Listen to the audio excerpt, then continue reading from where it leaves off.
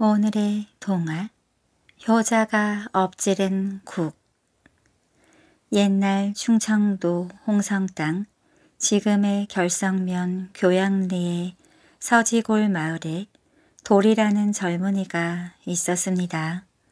도리는 어머니를 모시고 자랐어요. 도리의 어머니는 몹쓸 병을 앓고 있었습니다. 그래서 꼼짝없이 방 안에서 누워 지내야 했어요. 얘야 산에 나무를 하러 가니? 예 어머니 일찍 돌아올 테니 걱정하지 마세요. 어느 날 아침 도리는 밖으로 나가 빈 지게를 짊어졌습니다. 방 안에 누운 어머니는 마당을 내다보며 말했어요. 산속 깊이 들어가지 마라. 욕심을 내어 나무찜을 너무 많이 지고 오지 말고. 알겠어요 어머니. 방 안에 점심상을 차려놓았으니 제가 없더라도 꼭 드셔야 해요. 오냐 내가 기운을 차려 일어나야 할 텐데 나 때문에 내가 고생이 많구나. 나무를 해서 장에 내다 팔랴 밥하랴 빨래하랴 잠시도 쉴 틈이 없으니 그런 말씀하지 마세요. 저는 집안일이 즐겁고 재미있는 걸요. 조금도 힘든 줄 모르겠어요. 그게 사내 녀석이 할 소리냐. 너도 어서 장가를 들어야지. 그럼 조심해서 다녀오너라. 어머니는 살인문을 나서는 아들의 뒷모습을 바라보다가 긴 한숨을 내쉬었습니다. 녀석, 나를 안심시키느라 늘 웃는 낯으로 말하지만 얼마나 힘들고 고달플까. 아무리 열심히 일해도 입에 풀칠하기 어려운 형편이니 내가 병이나 품팔이 일이라도 해야 집안 살림이 나아질 텐데. 어머니는 늘 혼자 고생하는 아들이 안타깝고 애처로웠습니다. 그러나 도리는 언제나 힘든 내색을 하지 않고 온 정성을 다해 어머니를 섬겼지요. 자신은 굶을망정 어머니에게는 꼭 음식을 챙겨 드렸습니다. 그래서 마을 사람들은 입을 모아 이렇게 말했어요. 도리만큼 어머니를 잘 모시는 아들이 또 있을까? 그야말로 하늘이 낸 효자야. 물론이지 어머니가 드시고 싶다는 음식이 있으면 무슨 수를 쓰든지 구해다 주잖아. 도리는 우리 마을의 자랑거리야. 마을 사람들은 도리에 대해 칭찬을 아끼지 않았습니다. 집을 나선 도리는 산속으로 들어갔어요. 그리고 숲에 빈 지게를 내려놓고 도끼를 집어들었습니다. 내일이 장날이지 나무를 좀 넉넉히 해야겠다. 이렇게 생각한 도리는 잠시도 쉬지 않고 도끼로 나무를 찍었습니다.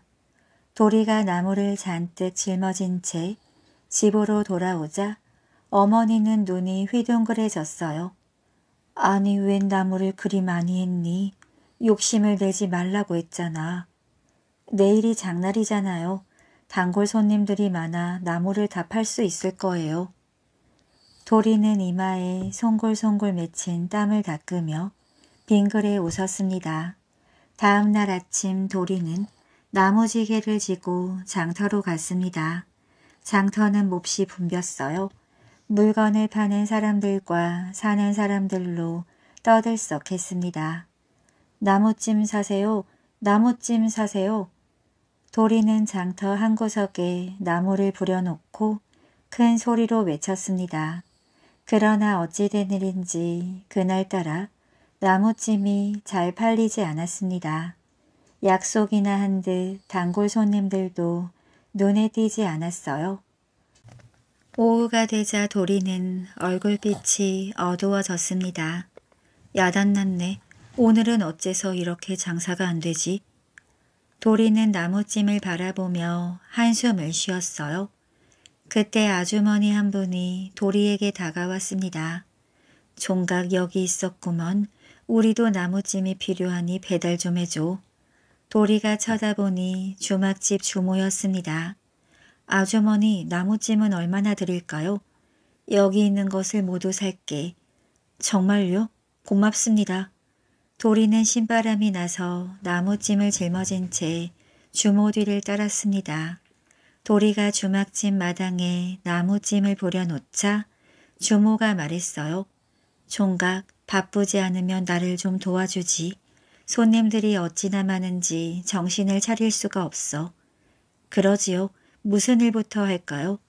부엌에 가서 아궁이에 불을 지펴줘. 도리는 주모가 시키는 대로 부엌에 가서 아궁이 앞에 쭈그려 앉았습니다.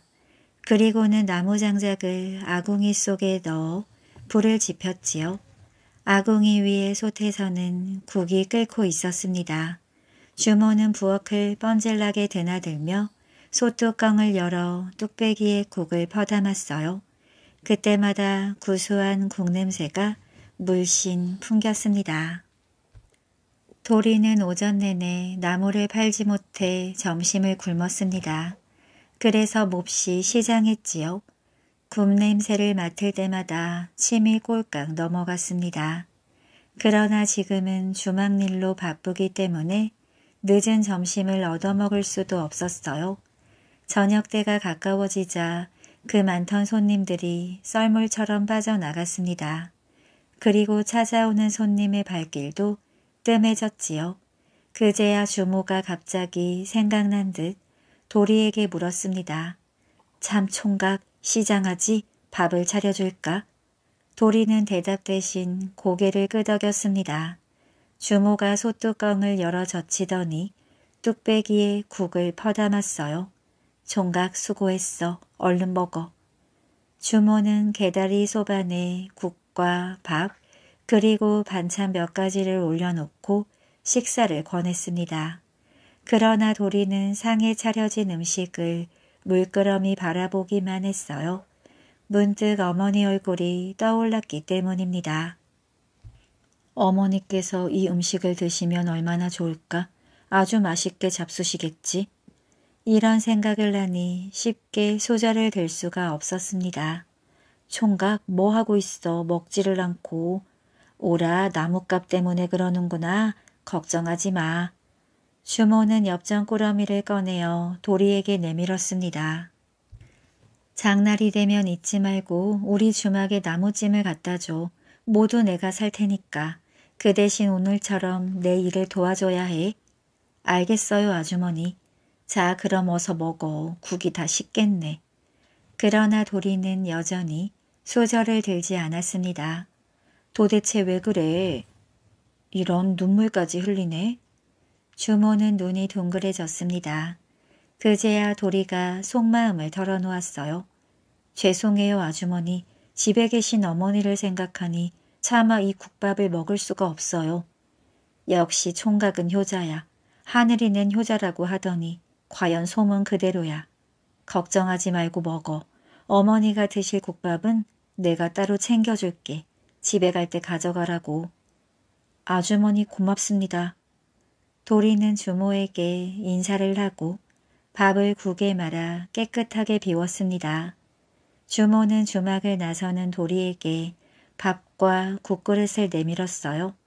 도리는 그 밥과 국그릇을 받아들고 빠른 걸음으로 집을 향해 갔습니다. 어머니 저 왔어요. 맛 좋은 국밥을 가져왔는데 맛 좀 보세요. 웬 국밥이냐. 너도 같이 먹자꾸나. 아니에요. 어머니 저는 주막에서 먹었어요. 주막집 아주머니가 나무찜도 사주시고 국밥도 주셨어요. 어머니의 목까지. 참 고마운 분이로구나. 어머니는 도리가 데워온 국을 밥에 말아 맛있게 먹었습니다. 도리는 그 모습을 흐뭇하게 바라보았어요.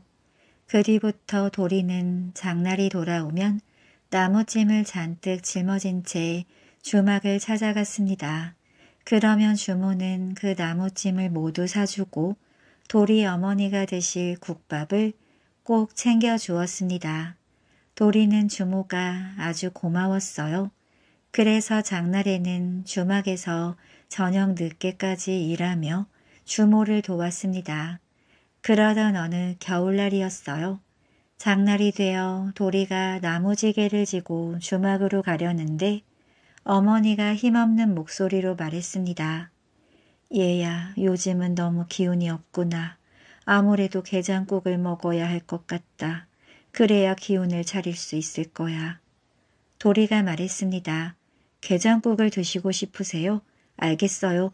일을 마치고 돌아오는 길에 꼭 게장국을 사오겠어요. 도리는 주막으로 가서 나무찜을 팔고 주막 일을 도왔습니다. 그리고는 나무찜을 팔고 받은 엽전으로 장터에서 게장국 한 그릇을 사들고 집으로 향했지요. 겨울이라서 날이 금세 어두워졌습니다. 전날 돈이 많이 내린 데다 날씨마저 추워져서 길은 몹시 미끄러웠습니다. 도리는 조심조심 빙판길을 걸어갔어요. 마을로 가려면 고개를 넘어야 했습니다. 그런데 도리는 고개를 넘어가다가 그만 빙판길에 넘어지고 말았습니다. 도리는 손에 들고 있던 국그릇을 떨어뜨리고 말았어요. 그리하여 국그릇은 산산조각이 나서 길바닥에 흩어졌습니다. 이를 어쩌지? 어머니가 드셔야 할 게장국을 엎지르다니. 도리는 분하고 안타까워 견딜 수가 없었습니다. 그래서 그 자리에 주저앉아 목을 놓아 울었지요. 그런데 바로 그때였습니다. 어둠 저편에서 이런 소리가 들려왔어요. 미련한 녀석, 운다고 해서 게장국이 다시 생기느냐. 어서 장터로 돌아가라. 아직 게장국 집은 문을 닫지 않았다. 네가 가진 엽전으로 게장국을 사오너라. 그제야 도리는 정신을 차렸습니다. 아참 그렇지. 엎질은 게장국이 아까워 다시 사오는 것을 잊었어. 도리는 오던 길을 되돌려 장터로 돌아갔어요. 게장국집은 막 문을 닫으려 하고 있었습니다. 도리는 게장국집 주인에게 매달렸어요. 오늘 밤 어머니는 게장국을 드셔야 합니다. 시간이 늦었지만 제발 제게 게장국을 파십시오. 도리에게 사정 이야기를 들은 주인은 감동을 받았습니다. 어머니에게 가져다 드릴 게장국을 엎질러 다시 게장국집으로 달려오다니 역시 자네는 효자야. 주인은 도리에게 게장국을 주고 그 값을 받지 않았습니다. 도리는 게장국을 집에 가져와 어머니에게 드렸어요. 그런데 도리의 효성이 하늘을 감동시킨 모양입니다. 어머니는 게장국을 먹자마자 병이 씻은 듯이 나았답니다. 오늘의 동화 저승으로 간 신부들 옛날 옛날에 종합골 마을에는 조진사, 안개골 마을에는 이생원이 살고 있었습니다. 두 사람의 집안은 하동에서는 유명한 명문 집안이었어요. 어느 날 종합골 조진사 집으로 한 노파가 찾아왔습니다. 그는 혼인을 중매하는 노파인 매파였어요. 마님, 안개골에서 매파가 찾아왔습니다.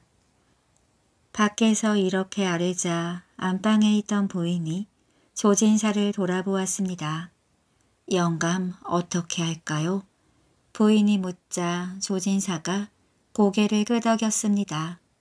들어오게 하시오. 부인이 하녀에게 분부했어요. 안으로 들여보내라. 이윽고 안방으로 매파가 들어왔습니다. 매파는 조진사 부부에게 공손히 절을 하고 그 앞에 앉았습니다. 부인이 입을 열었어요. 우리 집에는 무슨 볼일로 왔는가? 어디 좋은 혼처가 있어서 왔는가? 매파가 허리를 조아리며 대답했습니다. 그렇습니다. 누구나 탐내는 명문 집안이지요. 어느 댁 자제인가? 예, 안개골에 사는 이생원 댁 자제입니다. 뭐라고? 조진사는 얼굴빛이 달라졌습니다. 자네 지금 사람 놀리는가?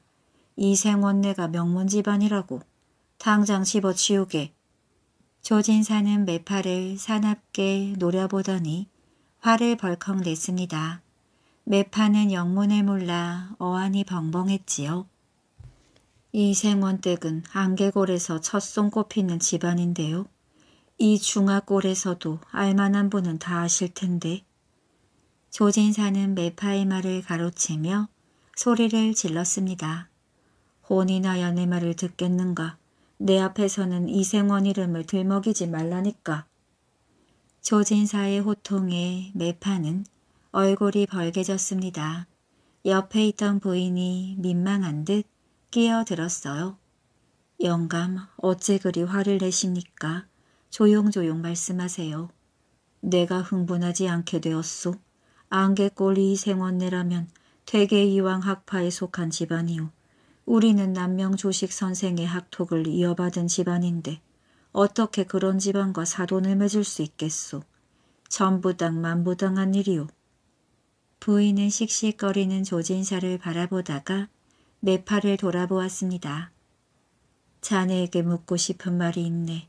안개꼴 이 생언내서 우리와 사돈을 맺겠다고 자네를 우리에게 보낸 건가? 아닙니다. 저는 두 집안이 사돈을 맺으면 좋을 것 같아 먼저 조진사 댁을 찾아온 것입니다. 이 댁에서 좋다고 하시면 이생원 댁을 찾아가려 했지요. 조진사는 매파의 입에서 계속 이생원의 이름이 나오자 참지 못하겠다는 듯 호통을 쳤습니다. 썩 물러가지 못할까. 우리 집안을 뭘로 보고 이생원네와 사돈을 맺게 하겠다고 수작을 부려. 내 자식을 지나가는 거지에게 줄 망정 그 집안에는 절대로 줄 수 없어. 잘 알겠습니다. 그만 물러가겠으니 고정하십시오, 진사올은. 매파는 조진사의 기세에 눌려 그 집에서 도망치듯 나왔습니다. 조진사는 아직도 화가 풀리지 않았는지 씩씩거리며 중얼거렸어요. 전하의 못된 할망구야. 어디 혼처가 없어 그따위 집안 얘기를 꺼내 내 화를 돋워. 귀가 더러워졌으니 당장 귀를 씻어야겠어. 조진사는 벌떡 일어나 안방에서 나갔습니다. 조진사가 이생원 집안 얘기가 나오자 크게 화를 낸 것은 이유가 있었어요. 조진사 집안과 이생원 집안은 학파가 다르다는 이유로 수백 년 동안 원수처럼 지냈습니다. 두 집안은 사돈을 맺기는커녕 얼굴을 마주보는 것조차 수치스럽게 생각했습니다. 그래서 서로 담을 쌓고 지내왔지요.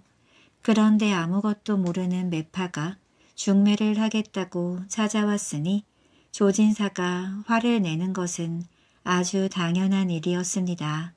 그러던 어느 날 두 집안은 저마다 딸을 시집 보내게 되었습니다.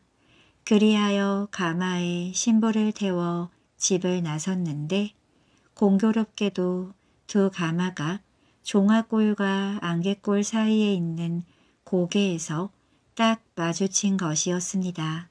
고개는 그리 비좁지 않았어요. 한쪽이 비켜져야 가마가 지나갈 정도는 아니었습니다.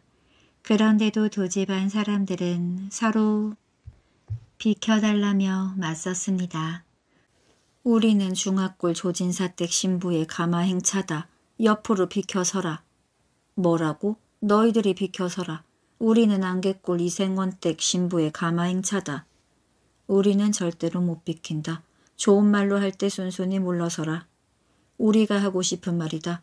부드럽게 다 이를 때 말을 듣거라. 양쪽 집안 사람들은 가마를 세워놓은 채 실랑이를 벌였습니다. 그러나 어느 쪽도 양보하려 하지 않았어요. 마침내 오고 가는 말도 더욱 험악해졌습니다. 가마를 부수기 전에 한쪽으로 비키라고 협박도 비슷하게 했지요. 버릇없는 놈들이구나. 누가 이기는지 두고 보자. 양쪽 집안 사람들은 서로 양보하지 않고 그 자리에 버텼습니다. 고개 아래에는 남강에서 갈라져 나간 물줄기인 덕천강이 굽이쳐 흐르고 있었어요. 두 집안의 가마가 고개에서 마주쳐 양보할 수 없는 싸움을 하고 있다는 소식이 각지로 퍼져나갔습니다. 그리하여 두 집안 사람들뿐 아니라 신랑 집안 사람들 그리고 퇴계 이왕 학파 및 남명 조식 학파의 선비들까지 이곳으로 몰려들었습니다. 이들은 고개에 초막을 치고 팽팽히 맞섰어요. 어느새 사흘이 지났습니다. 그러나 이들은 끝장을 보겠다는 듯 어느 쪽도 협상을 하려 하지 않았습니다. 이렇게 되자 괴로운 것은 가마 속에 갇혀있는 신부들이었습니다. 신부들은 눈물을 흘리며 자신의 신세를 한탄했어요. 끝까지 가문과 학파가 뭐 그리 대단하기에 이런 쓸모없는 싸움을 벌이는 것이냐.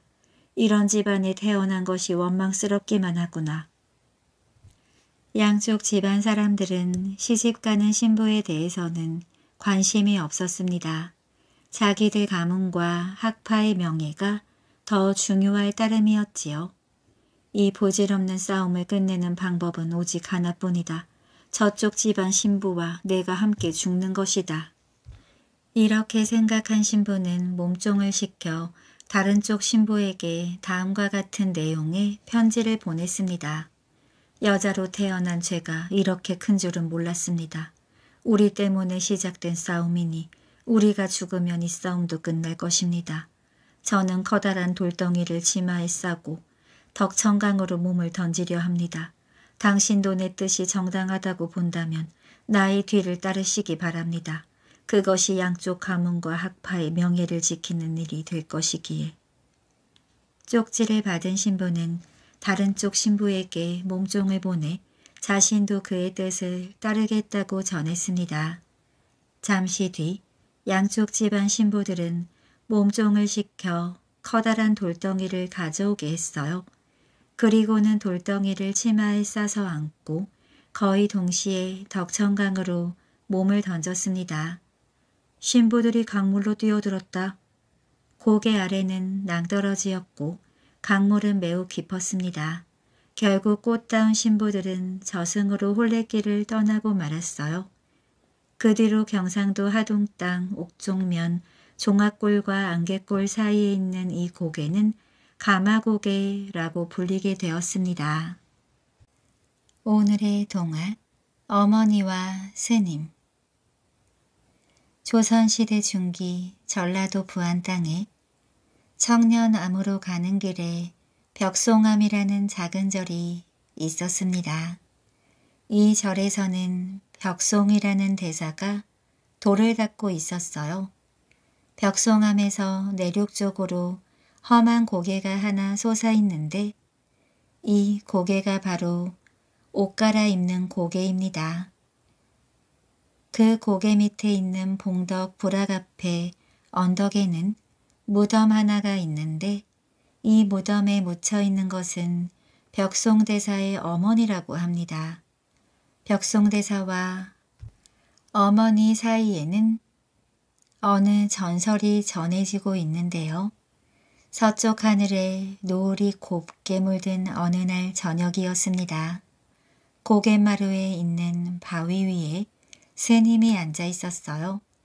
그가 바로 벽송이었습니다. 그때 스님 하고 소리치며 할머니가 고개 아래에서 올라왔습니다. 벽송은 바위에서 일어나 외쳤지요. 어머니 어서 오십시오. 오래 기다렸지. 오늘은 꽤 늦으셨네요. 무슨 일이 있으셨습니까? 무슨 일이 있기는 이제는 늙고 기운이 빠져 걷기 힘들어서 그래. 몇 걸음만 걸어도 숨이 차거든. 쉬엄쉬엄 오시느라 일이 늦으셨군요. 어머니 앞으로는 오지 마세요. 걷기도 힘드신데. 어미가 아들을 보러 오는 건데 뭘 그러나 오지 말라는 소리는 제발 하지 마. 어머니는 못난 아들을 위해 옷을 지어 오시지만 이제는 그러실 필요가 없습니다. 제가 입을 옷은 여기에도 많이 있거든요. 모르는 소리, 어미가 아들에게 해 입히는 옷과 그런 옷들이 어찌 같을 수가 있나. 어머니는 자기 마음을 몰라주는 아들이 원망스러운 듯 울상이 되어 벽송을 올려다 보았습니다. 그러자 벽송은 애써 어머니의 시선을 피하며 내뱉듯이 말했어요. 어머니, 차라리 제가 이곳을 떠나겠습니다. 뭐라고? 어머니는 깜짝 놀라 벽송의 얼굴을 보았습니다.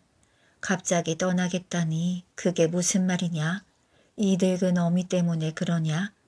아닙니다. 제가 어머니를 싫어할 까닭이 없지요. 저는 다만 출가한 몸으로 세속의 일을 잊지 못해 어머니와 이렇게 지내는 것이 도리가 아니라는 생각이 들어서입니다. 내 뜻은 잘 알겠다만 너는 오래전에 이 어미와 약속하지 않았느냐. 내가 살아있는 동안은 이곳에 머물러 있겠다고. 물론 어머니와 그렇게 약속했었지요. 하지만 저는 그동안 무척 괴로웠습니다. 부처님은 이 세상 일이 한 조각 뜬구름에 지나지 않다고 말씀하셨는데 저는 속세를 떠났다고 하면서도 세상 일에 얼매여 번뇌하며 살고 있으니까요. 이래서야 어디 부처님의 제자라 할 수 있겠습니까? 따라서 속세의 인연을 끊고 여기를 떠날까 합니다. 고갯마루에서는 바다가 보였습니다. 아들은 굳은 표정으로 바다를 내려다보고 있었어요.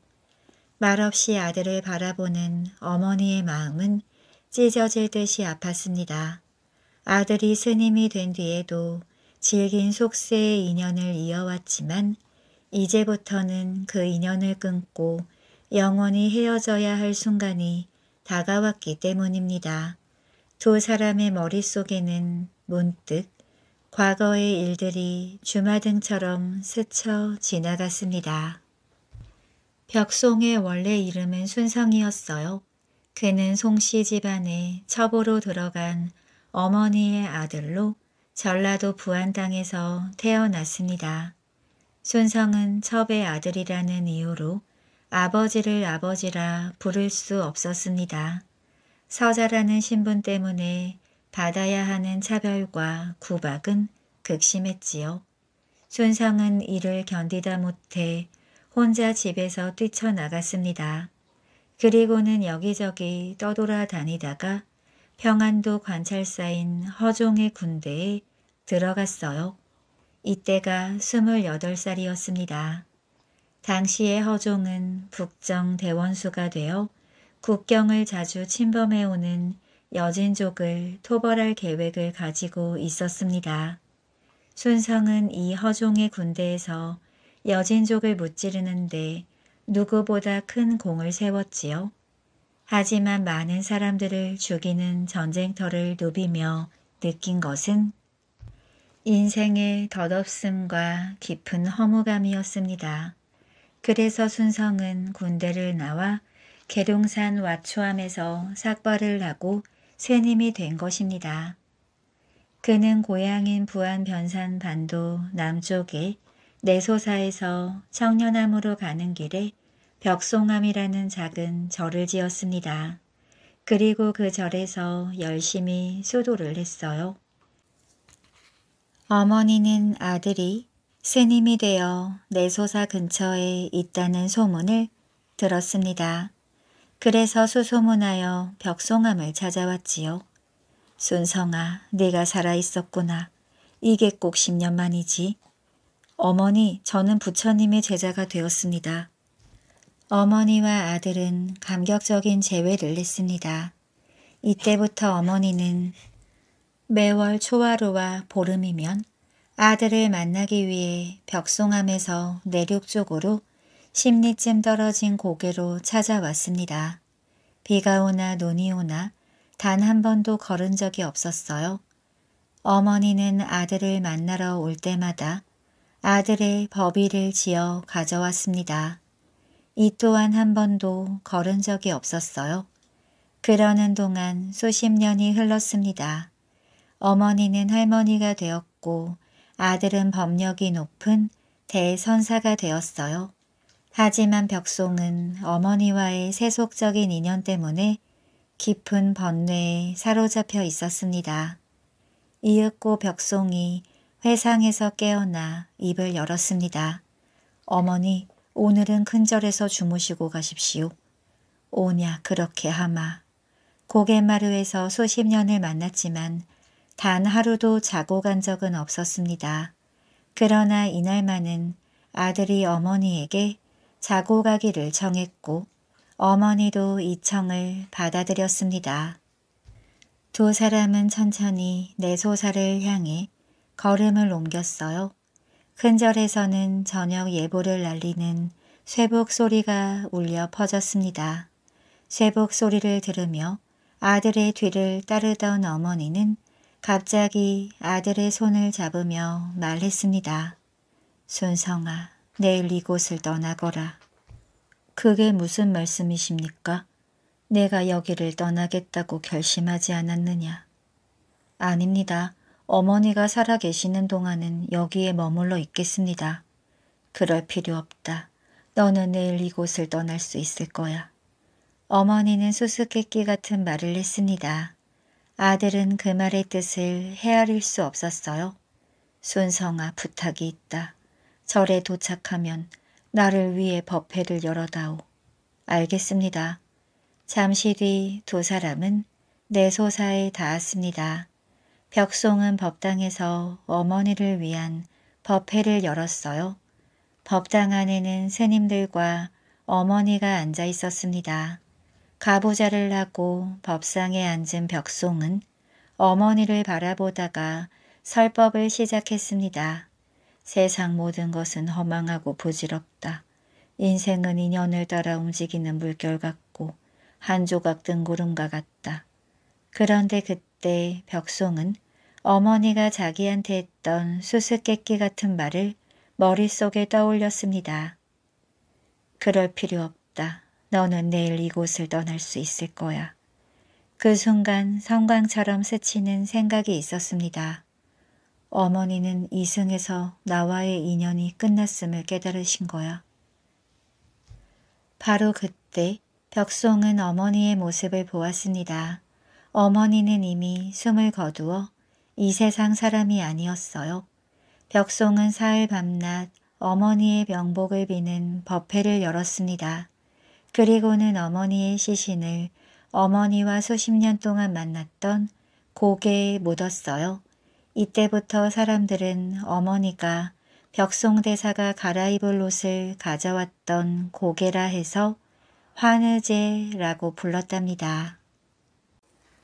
오늘의 동화 20년 동안 물을 준 산삼 고려가 망하고 조선이 세워졌을 때 일입니다. 괴나리 보찜을 맨 젊은 선비가 아내와 함께 금강산 골짜기로 들어서고 있었어요. 깊은 산 속에는 맑은 새소리와 계곡의 물소리가 들려왔습니다. 밝은 대낮인데도 사람의 그림자는 찾아볼 수가 없었지요. 선비는 거친 숨을 몰아쉬며 말했습니다.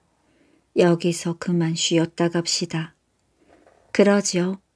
부부는 커다란 바위에 엉덩이를 걸치고 앉았습니다. 그리고는 손수건을 꺼내 땀을 닦았어요. 말로만 듣던 금강산에 와보니 경치가 정말 빼어나네요. 당연하지 금강산은 전하의 명산이라 하지 않소. 세상과 인연을 끊고 살 바에는 이렇게 경치 좋고 사람의 발길이 닿지 않는 곳이 좋지. 정말 그래요. 부부가 나란히 앉아 이야기를 주고받을 때였습니다. 골짜기 위쪽에서 하얀 수염을 길게 기른 백발의 노인이 걸어 내려왔어요.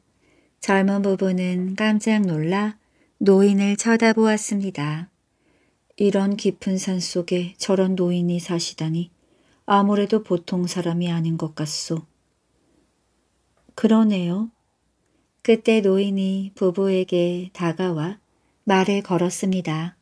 당신들은 어디에서 온 누구시오? 무슨 일로 여기까지 찾아왔소? 선비는 노인에게 머리를 조아리며 대답했습니다. 저는 고려의 벼슬아치였지만 나라가 망하고 세상 인심이 흉흉하여 세상과 인연을 끊고 아내와 단둘이 살려고 이곳을 찾아왔습니다. 노인은 못마땅한 듯 얼굴을 찡그렸습니다. 너무 깊이 들어갔소. 여기는 내가 사는 집의 울 아니요. 남의 집터를 더럽히지 말고 어서 아래로 내려가시오. 노인은 이 말을 남기고 골짜기 위로 걸어 올라갔습니다. 아내는 노인의 뒷모습을 바라보다가 입을 열었어요. 누구지요? 혹시 금강산 신령님이 아닐까요? 말도 안 되는 소리. 신령님이라면 연기를 피우며 바람처럼 나타났다가 온데간데 없이 사라져야지. 저기 버젓이 걸어 올라가고 있지 않소? 그렇긴 하지만 저는 저 노인이 범상치 않아 보이는걸요. 이곳을 자기가 사는 집에 울 아니라 말하는 것도 그렇고 정신 나간 노인이지 뭘 그래. 이 깊은 산 속에 무슨 울이 있다고. 그래도 저는 불안해요. 노인의 말을 듣지 않으면 좋지 않은 일이 일어날 것 같아요. 여보, 산 아래로 내려가요. 아내가 어두운 표정으로 이렇게 말하자 선비는 화를 냈습니다. 당신 자꾸 마음 약한 소리를 할 거요? 산을 내려가고 싶으면 혼자 내려가시오. 나는 여기에 집을 짓고 살 거요. 아내는 마음이 내키지 않았지만 선비의 뜻을 따를 수밖에 없었습니다. 부부는 그곳에 여장을 풀고 오막살이 집 한 채를 지었어요. 그리고는 그 집에서 단둘이 오순도순 행복하게 살았습니다. 하루는 가까운 산으로 나무를 뜯으러 갔던 아내가 집으로 헐레벌떡 뛰어왔습니다. 여보, 이리 좀 와보세요. 갑자기 왜 그래? 이상한 동물이라도 나타났소? 그게 아니라 산속 바위 틈에 이상하게 생긴 꽃이 피어 있어요. 그래? 선비는 아내를 따라 산속으로 들어갔습니다. 그리고 바위 틈에 피어 있는 꽃을 보았어요. 꽃빛이 빨갛군. 난생 처음 보는 꽃인걸? 당신이 봐도 이상하게 생겼죠? 이게 무슨 꽃일까요? 글쎄 잘 모르겠는데.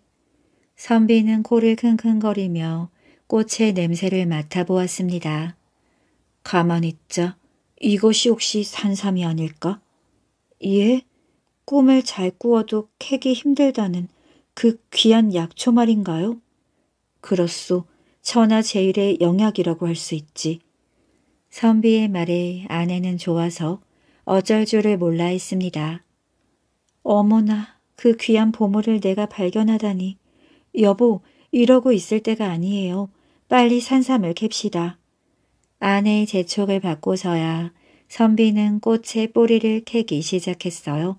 손으로 흙을 파내자 뿌리가 드러났습니다. 선비 부부는 뿌리를 보고 거의 동시에 소리쳤습니다. 이럴 수가.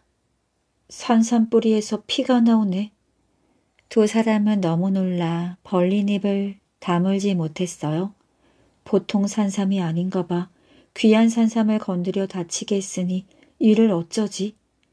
우리가 잘못했어요. 산삼을 캐는 게 아닌데.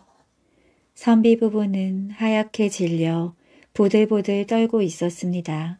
바로 그때 골짜기 위쪽에서 백발의 노인이 걸어 내려왔습니다. 지난번에 만났던 그 노인이었어요. 노인은 노여움이 가득한 얼굴로 선비 부부를 노려보았습니다. 너희들은 왜 남의 산삼에 함부로 손을 대느냐? 노인은 성난 표정으로 호통을 쳤습니다. 그러자 선비가 조심스럽게 물었어요. 이 산삼이 어르신 것입니까? 노인이 대답했습니다. 그렇다. 나는 나의 산에서 이 산삼을 천년 동안 길러왔다. 그런데 너희들이 함부로 손을 대어 산삼을 죽게 만들었다. 너희들이 얼마나 큰 죄를 지었는지 알겠느냐? 노인은 녹이 띈 목소리로 덧붙여 말했습니다. 한번 피를 흘린 산삼은 구할 길이 없다. 죽어버렸으니 나무 토막과 다름없지. 용서해 주십시오. 저희들이 잘못했습니다. 어르신의 귀한 보물을 몰라보고 몹쓸 죄를 지었습니다. 선비 부부는 노인 앞에 엎드려 용서를 빌었습니다. 노인은 두 사람을 물끄러미 내려다 보다가 입을 열었어요. 너희들이 모르고 한 일이니 큰 벌은 내리지 않겠다. 그 대신 너희들이 할 일이 있다. 오늘부터 20년 동안 이 고개 밑에 있는 샘터에서 물을 떠와 산산뿌리에 뿌려주어라. 단 하루도 이를 어겨서는 안 된다. 알겠느냐? 예, 시키는 대로 하겠습니다. 선비 부부는 노인 앞에서 머리를 조아렸습니다. 그런데 머리를 들어보니 앞에 있던 노인이 어느새 사라지고 없었어요.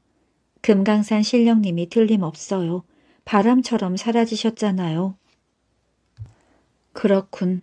어쨌든 그분과 약속했으니 20년 동안 하루도 쉬지 않고 물을 길어다 산산뿌리에 뿌려줍시다. 당연히 그래야지요. 선비 부부는 그날부터 고개를 오르내리며 샘터에서 물을 길어 산산뿌리에 뿌려주었습니다. 비가 오나 눈이 오나 춥거나 덥거나 단 하루도 쉬지 않고 그 일을 했습니다. 그러는 사이 젊은 부부는 어느덧 50을 바라보는 나이가 되었어요. 그러나 두 사람에겐 그때까지 자식이 없었습니다. 자식을 간절히 원하고 있지만 어찌 된 일인지 태기가 없었어요. 드디어 산산보리에 물을 준 지 꼭 20년이 되었습니다. 그날 아침 마지막으로 물을 길어 산산보리에 뿌려준 선비 부부는 깜짝 놀랐습니다. 여보, 물을 주자마자 꽃이 피어났어요. 과연 그렇군. 죽었던 산삼이 살아났어. 우리가 20년 만에 산삼을 살렸어. 선비 부부는 너무 기뻐 얼싸 안았습니다. 그때 백발 노인이 불쑥 나타났어요. 기쁨이 가득한 얼굴이었습니다. 고생 많았다. 너희들이 온 정성을 다해 산삼을 다시 살렸구나. 이 산삼은 이제 너희들 것이다. 나중에 씨를 받아 골짜기 곳곳에 뿌리도록 하라. 선비 부부는 노인이 시키는 대로 했습니다. 그리하여 금강산에는 많은 산삼이 자라게 되었답니다. 또 선비 부부에게도 기쁜 일이 있었어요. 뒤늦게 아기를 가져 열 달 뒤에 귀한 아들을 낳은 것입니다. 오늘의 동화 도둑을 기다린 아내 어떤 도둑이 부잣집을 털기 위해 훌쩍 담을 넘어 들어갔습니다. 그러나 주인에게 곧 들키고 말았지요. 도둑은 걸음아 나 살려라 하며 재빠르게 달아났습니다. 그러다가 산 밑에 있는 조그만 오두막집을 보았어요. 도둑은 담을 넘어 들어가 그 집에 부엌에 몰래 숨었지요. 오두막집 주인 부부는 며칠째 굶어서 빈속으로 자리에 누워 있었습니다. 눈만 말똥말똥 뜨고 있던 부부는 떠들썩한 바깥 소리에 귀를 기울였습니다. 그러다가 문득 남편이 말했어요. 죄부잣집에 도둑이 들었나? 개 짖는 소리가 그친 걸 보니 도둑이 간 모양인데. 그런데 여보, 우리 집에도 무슨 인기척이 있지 않았소? 꼬르륵거리는 배를 움켜쥐며 아내가 간신히 대꾸했습니다. 인기척이 있으면 무슨 대수예요. 우리 집에 쌀이 있나 밥이 있나 온 집안을 다 뒤져봐도 훔쳐갈 물건은 하나도 없는데 뭐가 걱정이에요. 귀찮다는 듯이 퉁명스럽게 말하는 아내에게 남편이 고개를 끄덕끄덕 했습니다. 부엌에 숨어있던 도둑은 부부의 말을 엿듣고 조심조심 온 집안을 뒤져보았어요. 그런데 정말 가져갈 만한 게 아무것도 없는 겁니다. 우리 집보다 더 가난하군. 정말 안 됐네 안 됐어. 도둑은 오두막집 주인 부부가 불쌍했습니다. 그래서 자신이 갖고 있던 동전 몇 잎을 그 집의 부엌에 있는 솥에 넣어주었지요. 몇 푼 안 되지만 이걸로 끼니라도 때우시오. 도둑은 고양이 걸음처럼 살금살금 걸어 오두막집에서 나왔습니다. 이튿날이었어요. 뜻밖의 돈을 발견한 주인 부부는 그 돈으로 양식을 샀습니다. 그래서 며칠 동안 잘 먹고 지냈어요. 살다 보니 이런 행운도 있구먼. 주인 부부는 아주 오래간만에 배고픔을 잊었습니다. 하지만 양식은 며칠 만에 또 떨어지고 말았어요. 그러자 아내가 한숨을 내쉬며 중얼거렸습니다. 이럴 때 도둑님이라도 오시면 참 좋겠네. 하고 말입니다. 오늘의 동화 꽤 많은 스님 옛날에 벼슬을 한 허성이라는 사람은 성품이 고든 사람이었습니다. 하지만 안타깝게도 어리석은 관리였지요. 허성은 문관들을 임용하는 이조 판서로 있었습니다. 그 자리는 마음만 먹으면 많은 뇌물을 모을 수도 있는 아주 중요한 관직이었어요. 허성은 성품이 대나무처럼 고닫기 때문에 모든 일을 공정하게 처리했습니다. 그래서 뇌물이 하나도 들어오지 않았어요. 허성은 워낙 인사청탁을 싫어했습니다. 만일 어느 자리에 앉혀달라고 부탁하는 사람이 있으면 꼭 그 사람의 뜻과 반대되게 해주었지요. 이를테면 지방으로 내려갈 차례가 되었으니 남도로 발령을 내달라는 사람이 있으면 도리어 북도의 국경지방으로 발령을 냈습니다. 허성의 이와 같은 성품은 소문이 쫙 퍼져서 알 사람은 다 알고 있었어요. 그때 흥덕사라는 절에 일운이라는 스님이 있었습니다. 그 스님은 꾀가 여간 많은 게 아니었지요. 지혜롭지 못하면 그 꾀에 홀딱 속아 넘어가기 십상이었습니다. 이론 스님은 꼭 영흥의 단속사에 가서 살고 싶었어요. 하지만 허성에게 그곳으로 보내달라고 했다가는 어디로 쫓겨갈지 모를 일이었지요. 그래서 꾀를 썼습니다. 어디로 가고 싶으냐? 허성이 묻자 이룬 스님은 이렇게 대답했습니다. 황해도의 영명사는 경치가 그만이라 꼭 그곳으로 가서 살고 싶습니다. 만일 영흥의 단속사 같은 곳으로 가게 된다면 소승은 아마 미쳐서 죽을 것입니다. 말을 마친 이룬 스님이 아무도 모르게 배시시 웃었습니다. 며칠이 지나 드디어 명령이 떨어졌지요. 일운은 단속사로 가거라. 일운 스님은 너무 좋아서 만세를 불렀습니다. 흠, 네가 내 꾀에 안 넘어가고 배겨.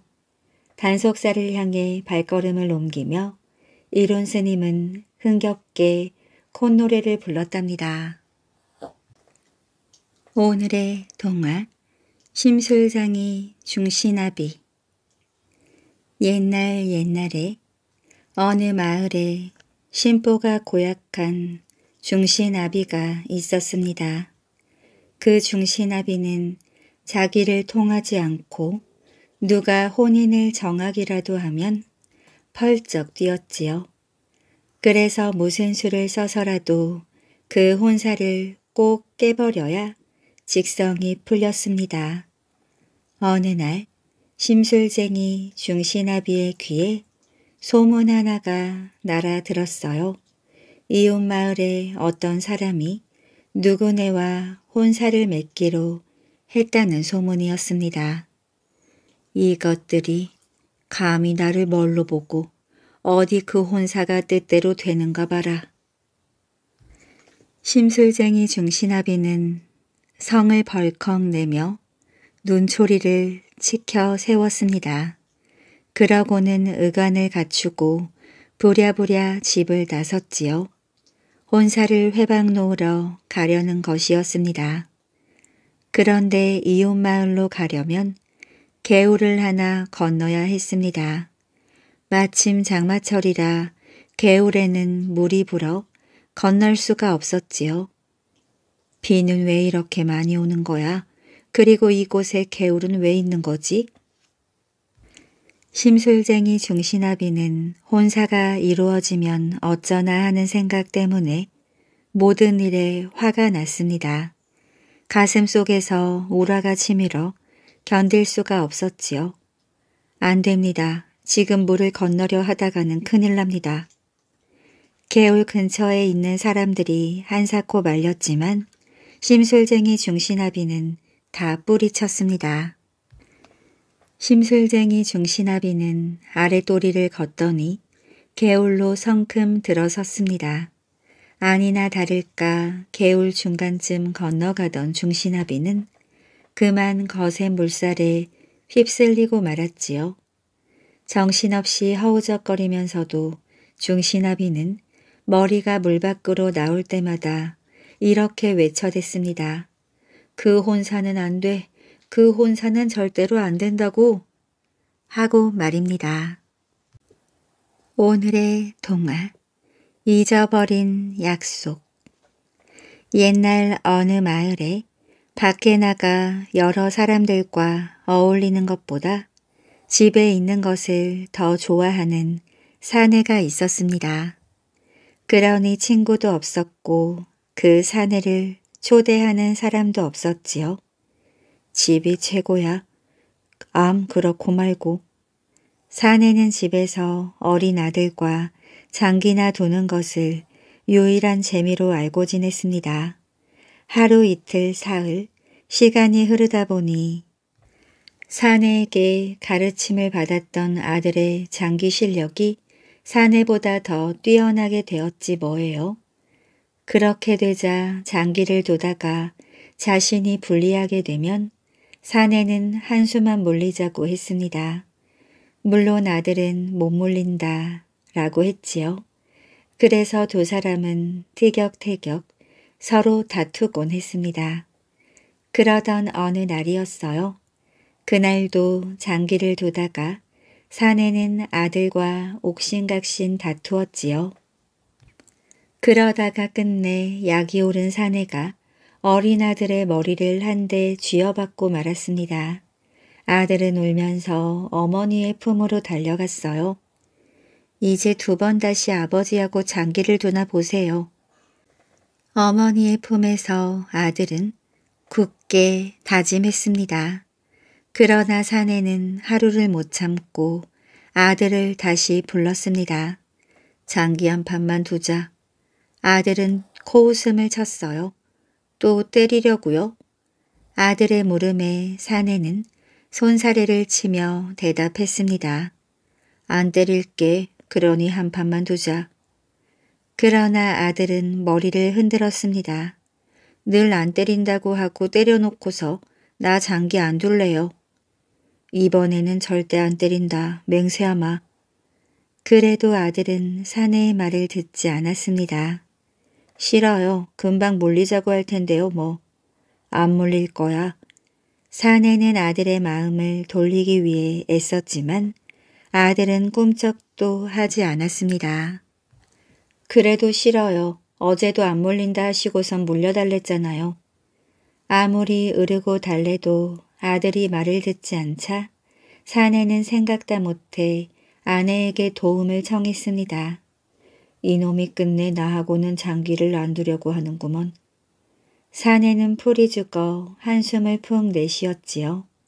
그런 사내를 보자 아내는 갑자기 마음이 흔들렸습니다. 남편이 오죽 심심하면 어린 아들에게 저렇게 사정까지 할까. 그래서 아내는 아들을 깨웠습니다. 아버지가 때리지도 않고 물리지도 않는다고 하시잖니. 그러니 장기 한판 두려무나. 그런데 혹시 이번에는 네가 질 것 같으니까 안 두려고 하는 거 아니니? 그러자 아들이 펄쩍 뛰었습니다. 아니에요. 아버지는 제가 이겨요. 기다렸다는 듯이 아내가 아들에게 말했어요. 그럼 한 번 더 봐라. 네가 이기나 못 이기나 내가 잘 지켜볼 테니까. 아들은 하는 수 없다고 생각했습니다. 그래서 마지못해 장기판 앞으로 다가 앉았어요. 드디어 사내와 아들의 장기 시합이 시작되었습니다. 두 사람은 장기판을 뚫어지게 쳐다보았지요. 그러나 사내는 한 시간도 못 되어 두 판이나 내리지고 말았습니다. 세 판째로 접어들자 사내는 점점 속이 상했어요. 그것도 모르고 아들은 신이 나서 깔깔 웃었습니다. 장군 받아요 아버지. 사내가 자세히 살펴보니 외통수에 걸려 있었던 겁니다. 꼼짝없이 아들에게 또 지게 생겼지 뭐예요. 사내는 아들에게 사정을 하기 시작했어요. 한수만 물리자. 안 돼요. 아들이 딱 부러지게 대답했습니다. 사내는 기분이 언짢았지만 꾹 참고 다시 사정했지요. 내가 그걸 못 봤으니까 한수만 물려줘. 안 돼요. 그럼 내가 졌다 하고 한수만 물리자. 그래도 안 돼요. 아들의 입에서는 여전히 찬바람이 나왔지요. 내가 이렇게 사정을 하는데도 안 된다고? 정말 안 되겠니? 사내가 그만 벌컥 소리를 질렀습니다. 안 돼요. 아들도 퉁명스럽게 소리쳤지요. 나쁜 녀석. 사내는 속이 부글부글 끓어서 더 이상 참을 수 없었습니다. 결국 사내는 아들과 한 약속을 또다시 잊고 말았답니다. 그래서 주먹으로 아들의 머리를 소리가 나도록 쿵 박아 주었답니다. 오늘의 동화 부엉이 소리 내는 사람 옛날에 한 가난한 사람이 나라에서 빌려주는 곡식을 많이 얻어갔습니다. 그러나 그 사람은 빌린 곡식을 갚을 길이 없어서 발만 동동 구르고 있었지요. 어느 날 관청에서 곡식을 갚으라는 독촉이 심해지자 그 가난한 사람은 마을 이장을 찾아갔어요. 원님이 새로 부임한 후부터 곡식을 갚으라는 독촉이 더욱 심하니 어떻게 하면 좋겠습니까? 원님이 몹시 엄하시다던데 큰일이군. 가난한 사람이 간절한 눈빛으로 마을 이장에게 매달렸습니다. 무슨 방법이 없을까요? 좋은 수가 있지. 좋은 수라는 말 한마디에 가난한 사람은 귀가 번쩍 뜨였지요. 어떻게 말입니까? 옛날부터 관청 뒷산에서 부엉이가 울면 원님이 바뀐다고 하지 않던가. 그런 말이 있지요. 마을 이장은 가난한 사람의 귀에 대고 속삭였습니다. 자네가 관청 뒷산에 가서 부엉이 우는 소리를 내게 그러면 원님이 상서롭지 않은 일이라 하여 돌아가지 않겠는가. 새 원님이 올 때까지 얼마 동안은 걱정이 없을 걸세. 가난한 사람이 무릎을 치며 기뻐했습니다. 그럴듯한 말씀이십니다. 그날 밤이었어요. 가난한 사람은 마을 이장이 시키는 대로 뒷산 나무 위에 올라갔습니다. 가난한 사람이 내는 부엉이의 울음소리를 듣고 정백창이 관리에게 물었어요. 아니 오늘 밤에는 웬 부엉이가 저리 우느냐. 죄송합니다만 상서롭지 못한 일이옵니다. 그게 무슨 뜻인지 몰라서 정백창이 다시 물었습니다. 어째서 그러느냐. 옛날부터 저희 고을에서는 부엉이가 울면 원님이 바뀐다는 소문이 있사옵니다. 그래.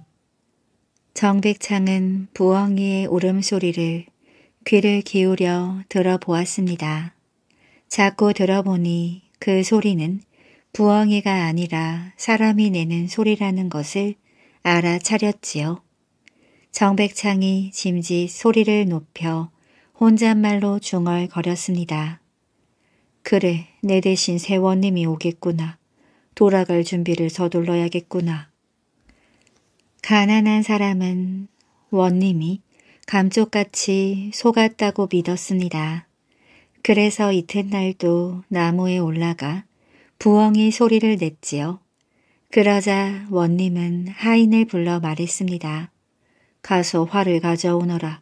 내가 아직 돌아갈 때도 아닌데 저 부엉이 때문에 그래서야 되겠느냐. 부엉이를 차라리 내 손으로 잡아야겠다. 가난한 사람은 덜컥 겁이 났어요. 잘못하다가는 활에 맞아 죽을지도 모르니까요. 그래도 가난한 사람은 쉬지 않고 부엉이 소리를 냈습니다. 원님은 활을 가지고 나무 밑으로 가서 큰 소리로 외쳤어요. 부엉아 죽고 싶지 않다면 내려와 너의 정체를 밝혀라. 잠시 뒤 가난한 사람은 나무에서 엉금엉금 내려와 무릎을 꿇었지요. 죽을 죄를 지었습니다. 내가 부엉이더냐. 가난한 사람은 몸을 바들바들 떨며 애원했습니다. 한 번만 용서해 주십시오. 원님은 가난한 사람이 가여웠어요. 하지만 잘못을 그냥 덮고 넘어갈 수는 없었습니다. 그래, 내 죄는 용서해 주겠다. 그러나 고을 사람들이 그 아까운 부엉이 소리를 듣지 못한다면 섭섭하지 않겠느냐. 내일 하루 종일 관청들에서 부엉이 소리를 내도록 하여라. 빌린 곡식 때문에 엉뚱한 행동을 했던 가난한 사람은 다음 날 아침부터 저녁까지 부엉부엉하고 울어댔습니다. 그 바람에 사람들의 웃음거리가 되고 말았답니다. 호랑이와 나팔 보는 사람 옛날에 나팔을 아주 힘있게 잘 보는 사람이 살았대요. 배심이 엄청 좋아서 나팔 소리가 빵 하고 잘났대요. 이 사람이 나팔을 잘 불어서 고을에 무슨 잔치가 있다 하면 여기저기 불려 다녔습니다. 큰 잔치가 벌어지면 풍악을 잡는다고 북치고 장구치고 피리 불고 그러잖아요. 그런데 이 사람이 나팔을 들고 나타났다 하면 다른 악기는 맥을 못 쳤습니다. 북이고 장구고 퉁소고 피리고 간에 나팔 소리를 못 당한 겁니다. 빵 하고 한번 내놓으면 듣는 사람 귀가 멍멍해질 지경이었어요. 그렇게 한바탕 나팔을 불면서 잘 놀아주면 잔치집에서 돈푼이나 좀 쥐어 주었습니다. 그걸로 밥을 먹고 살았어요. 하루는 이 사람이 이웃마을 잔치집에 가서 나팔을 불어주고 대접을 잘 받았습니다. 이것저것 잘 얻어먹고 거나하게 취해서 집으로 돌아오는데 고개를 하나 남겨두고 날이 저물었어요. 그런데 그 고개가 예사 고개가 아니었습니다. 호랑이가 나온다는 범고개였어요. 밤만 되면 호랑이가 나타나서 설치는 통에 사람들이 다니질 못했습니다. 누구든지 고개 앞에서 날이 저물면 하룻밤 자고 날이 밝기를 기다렸다가 고개를 넘었습니다. 호랑이 때문이지요. 범고개 앞에서 날이 저물었으면 그냥 주막이나 동네 집에 들어가 하룻밤을 자고 갈 국리나 하면 좋을 텐데 이 사람이 술김에 그냥 고개를 넘었습니다. 호랑이고 뭐고 겁날 게 뭐야. 잡아먹으려면 잡아먹으라고 그래. 본래 술에 취하면 간이 커지는 법이지요. 호랑이 나온다는 고개를 밤중에 혼자서 겁도 없이 활개짓을 하면서 넘은 겁니다. 그쯤만 해도 좋으련만 이 사람은 아예 한술 더 떠서 고갯마루에 올라 큰 대자로 누워서 잠이 들어 버렸어요. 한참을 자다가 얼굴이 차갑고 간지러워서 눈을 딱 떠보니 이것 참 일이나도 보통으로 난 게 아니었습니다. 호랑이란 놈이 꼬리에 물을 적셔서 얼굴에 척척 문지르고 있는 거예요. 호랑이가 어슬렁어슬렁 돌아다니다 보니 아주 먹음직스러운 사람이 하나 누워있는데 이게 깨어나야 잡아먹든지 말든지 하는데 대자로 자빠져 자고 있으니 깨워야 할 거 아니겠어요? 호랑이는 자는 사람이나 기절한 사람은 잡아먹지 않는다고 하거든요. 얼른 깨어나라고 꼬리에 물을 묻혀가지고 얼굴에다 슬슬 문지르고 있었습니다. 일이 이 지경이 되어 놓으니 이 사람도 정신이 번쩍 들긴 들었습니다. 아무리 생각해도 빠져나갈 구멍이 보이지 않았지요. 달아나기는커녕 손끝만 까딱해도 호랑이한테 날름 잡아먹힐 판이었습니다. 그래서 꼼짝도 못하고 누워서 자는 채 하고 있었지요. 그러던 차에 자기가 품에 하는 나팔이 보이더래요. 나팔쟁이한테 나팔보다 더 귀한 게 없는지라 술김에 자면서도 그놈의 나팔은 품에 꼭 품고 잤던 모양입니다. 이왕 이렇게 된 거 나팔이나 한바탕 불어보고 죽든지 말든지 하자. 이렇게 생각하고 나팔을 냅다 불었습니다. 안 그래도 배심 좋은 사람이 죽기로 마음먹고 나팔을 부니 그 소리가 얼마나 컸을까요? 빵빠라랑 하니까 그만 온 산이 진동을 하고 땅바닥이 들먹거렸대요. 그 서슬에 호랑이가 얼마나 놀랐던지 그만 똥을 한 무더기를 쌌습니다. 자기는 꼬리에 물을 묻혀서 사람 얼굴에 문지르느라고 뒤로 돌아서 있었을 게 아니겠어요? 느긋하게 돌아서서 꼬리로 사람 얼굴을 툭툭 치고 있던 방국에 갑자기 귀청 떨어지는 나팔 소리가 진동을 해놓으니 호랑이 아니라 호랑이 하랩이라도 안 놀라고 배기겠나요? 하도 놀라서 그만 똥을 한 무더기 싸고는 도망을 갔대요. 뒤도 한번 안 돌아보고 그냥 냅다 주랭랑을 친 겁니다. 그러니 그놈의 호랑이 똥이 어디로 가겠나요? 나팔 불던 사람이 뒤집었었지요. 산 밑에 살던 사람들이 아닌 밤중에 천둥 같은 나팔 소리가 들리니까 놀라서 다들 깨어나지 않았겠어요? 깨어나서 웬일인가 하고 밖으로 나와 보니 저 산 위에서 웬 사람이 나팔을 들고 비척비척 내려오는데 그 사람 얼굴이 그냥 민둥하더래요. 눈도 코도 입도 전혀 보이지 않았지요. 호랑이 똥을 뒤집어 썼으니 뭐가 보이겠어요? 그 사람은 그 뒤에도 나팔을 잘 불면서 오래오래 행복하게 살았다고 합니다. 문상 간 아들 옛날 옛적 어느 마을에 아버지가 아들 하나를 데리고 살았는데 이 아들이 영판 쑥맥이었습니다. 콩 보리를 못 가렸지요. 그러니 아버지는 아들이 행여 딴 데 가서 남의 웃음거리나 되지 않을까 걱정하는 게 일이었어요. 한 번은 이웃마을 아는 집에 초상이 났습니다. 초상이 났으니 문상을 가야 하는데 아버지가 마침 바쁜 일이 생겨서 아들을 대신 보내게 되었습니다. 문상이라고 하는 것은 예의범절을 잘 지켜야 하는 일이거든요.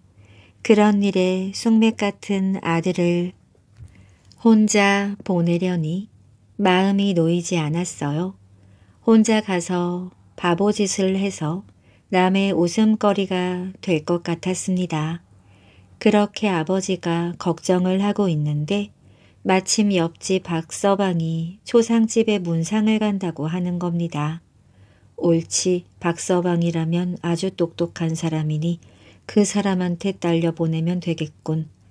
아버지가 이렇게 생각하고 아들을 보내면서 신신당부를 했습니다. 예, 너딴집 말고 박서방을 따라가면서 그저 그 사람이 하는 대로만 해라. 박서방 하는 걸 잘 보고 그대로 따라만 하란 말이야. 숭맥 아들이 박서방을 따라갔습니다. 박서방 뒤를 졸졸 따라가면서 아버지가 워낙 신신당부를 한 터이라 정말 정신 바짝 차리고 뭐든지 따라했어요. 박서방이 헛기침을 하면 저도 하고 박서방이 코를 풀면 저도 풀고 박서방이 하품을 하면 저도 하고 이러면서 갔습니다. 가다가 개울이 나왔어요. 개울을 건너려면 징검다리를 건너야 되는데 박서방이 징검다리를 건너다가 그만 실수로 미끄러져 한쪽 발이 물에 빠져버렸습니다. 그런데 이숙맥이 그걸 보고서는 일부러 개울물에 풍덩 뛰어들었어요. 멀쩡하게 징검다리를 건너다가 박서방이 물에 빠지는 걸 보고 저도 그대로 따라 하느라고 그런 겁니다. 그러느라고 옷을 다 버렸어요. 또 가다 보니 개 한 마리가 길가에서 잠을 자고 있더래요. 그런데 박서방이 모심코 그개 꼬리를 밟아버렸습니다. 그랬더니 개가 잠에서 깨어 깨갱갱하면서 막 도망갔어요. 이 쑥맥이 저도 따라 하느라고 도망가는 개를 허겁지겁 따라갔어요. 사람이 따라오니까 개는 더 빨리 도망갈 게 아니겠어요? 그러니까 이숙맥도 길을 쓰고 죽자 사자 따라가서 기어이 그 개 꼬리를 밟았습니다. 또 가다가 보니 참새가 한 마리 포르르 날아가다가 똥을 찍 싸는 거예요. 그런데 그게 하필이면 박서방 머리에 쓴 갓에 떨어질 게 뭐예요? 그걸 보고 이숙맥이 또 따라 하느라고 불이 나게 쫓아가서 참새를 잡는데 날아가는 참새가 어디 잘 잡히나요? 난리 법석을 치다가 참새 둥지를 뒤져서 참새 한 마리를 잡아가지고 제 머리 위에 들고 배를 막 눌렀습니다. 그래서 참새가 견디다 못해 똥을 찍 싸니까 그게 머리에 묻었지요. 이제 초상집에 다 갔습니다. 그런데 박서방이 초상집 방문을 들어가다가 문이 낮아서 그만 문틀에 이마를 쿵 하고 박았어요. 그걸 또 따라 해야겠지요. 그런데 박서방은 키가 크고 저는 작았습니다. 그러니까 그냥 지나가서는 문틀에 이마를 박을 수가 없었어요. 이 쑥맥이 뜀박질로 뛰어올라서 억지로 이마를 문틀에 쿵 부딪혔습니다. 그 바람에 혹이 주먹만 하게 났지요. 이제 방에 들어가서 박서방이 상주한테 절을 하는데 상사 말씀 무엇라고 여쭐 말씀이 없습니다. 하면서 절을 하다가 그만 방귀를 뽕 하고 끼었어요. 그걸 보고 이숙맥이 기겁을 하는 겁니다. 아휴 이거 참 큰일 났네. 지금까지는 어찌어찌 따라 했지만 저 방귀를 어떻게 따라 한담. 그래도 따라는 해야겠으니까 저도 상주한테 상사 말씀 무엇라고 여쭐 말씀이 없습니다 하고 절을 하면서 궁둥이에 힘을 줬지요. 방귀가 나오라고 말입니다. 그런데 방귀라고 하는 게 어디 나오란다고 쉽게 나오나요? 금방 방귀가 안 나오니까 아주 얼굴이 빨갛게 되도록 용을 썼지요. 어떻게든 방귀를 뀌어보려고 말입니다. 끙끙거리며 아주 힘껏 용을 쓰다 보니 나오긴 나왔는데 방귀가 아니고 딴 게 나와버렸어요. 똥을 싸버린 겁니다. 그렇게 문상을 다하고 집에 돌아오니까 아버지가 아들더러 묻기를 그래 박서방 하는 대로 따라서 잘 했느냐. 그랬더니 쑥맥아들이 뭐라고 했는지 알아요? 아버지 말씀도 마세요. 문상이란 게 그렇게 힘든 줄 몰랐습니다. 개울물에 빠지고 개꼬리 밟고 참새똥 맞고 문틀에 이마를 박은 거야 그렇다 치더라도 상주한테 절하면서 방귀 끼는 건 정말 힘들더라고요. 그래도 염려 마세요. 박서방은 기껏 방귀만 끼웠지만 저는 똥까지 쌌거든요. 그러니까 제가 더 잘했지요. 이러더랍니다. 마시비 뚫은 굴 옛날 도할이라는 마을이 있었어요. 그 마을 뒷산 기슭에 나무꾼 마십이 살았습니다. 마십은 어리숙한 데다 착하기까지 해서 맨날 사람들한테 바보라고 놀림을 받았습니다. 누가 파트로 매주를 쓴다고 말하면 정말로 파틀 고와 매주를 수려들고 소금으로 밥을 짓는다고 말하면 밥솥에 소금을 안 칠 만큼 순박했습니다. 하지만 마십의 색시는 똑똑하고 야무진 데다 무척 아름다웠어요. 그러니 사람들이 잠자코 있을 리가 있나요? 나고 배가 아파 뒤에서 쑥덕거리기 바빴습니다. 저런 바보하고 살다니 인물이 아깝다. 곰같이 미련한 마십이랑 무슨 재미로 살까? 하지만 아무리 입방아를 찧어봤자였어요. 마십과 색시는 서로 아끼고 사랑하면서 알콩달콩 잘만 살았거든요. 마십이 부지런히 나무를 내서 팔아오면 색시는 알뜰살뜰 살림을 했지요. 부자는 아니어도 남부러울 거 하나 없었습니다. 어느 추운 겨울날 마십은 산으로 나무를 하러 갔어요. 한참 산길을 오르는데 저만치 바위 벼랑 아래 사람이 하나 엎어져 있었습니다. 얼른 달려가서 살펴보니까 허리춤에 활을 찬 사냥꾼이었어요. 마십은 사냥꾼 어깨를 흔들었습니다. 여보시오, 정신 차려요. 하지만 사냥꾼은 꼼짝도 안 했지요. 온몸이 꽁꽁 언 채 다 죽어가고 있었던 겁니다. 마십은 사냥꾼을 지게에 지고 허둥지둥 집으로 돌아왔어요. 그리고 따뜻한 아랫목에 누이고 온몸을 주물렀지요. 색시는 방에 군부를 지피고 약초를 다렸습니다. 이렇게 하루 낮, 하루 밤 동안 주무르고 약을 먹인 끝에야 사냥꾼 얼굴에 겨우 핏기가 돌았습니다. 가까스로 살아난 거예요.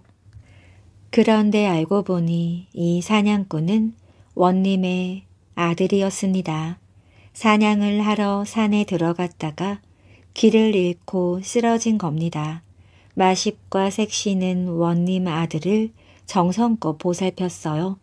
그렇게 며칠이 지나자 원님 아들은 몸이 거뜬해졌습니다. 그런데 웬일인지 집으로 돌아갈 생각을 낳는 거예요. 양식도 얼마 없고 집도 좁아 불편한데 가라고 할 수도 없잖아요. 그래서 마십하고 색시는 아직 아픈 데가 조금 남아있는 모양이다 하고 말았습니다.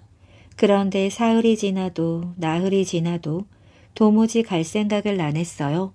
맨날 빈둥빈둥 놀면서 밥만 축내더니 반찬이 짜다느니 싱겁다느니 고기 반찬을 내오라느니 생선을 내오라느니 투정까지 부렸습니다.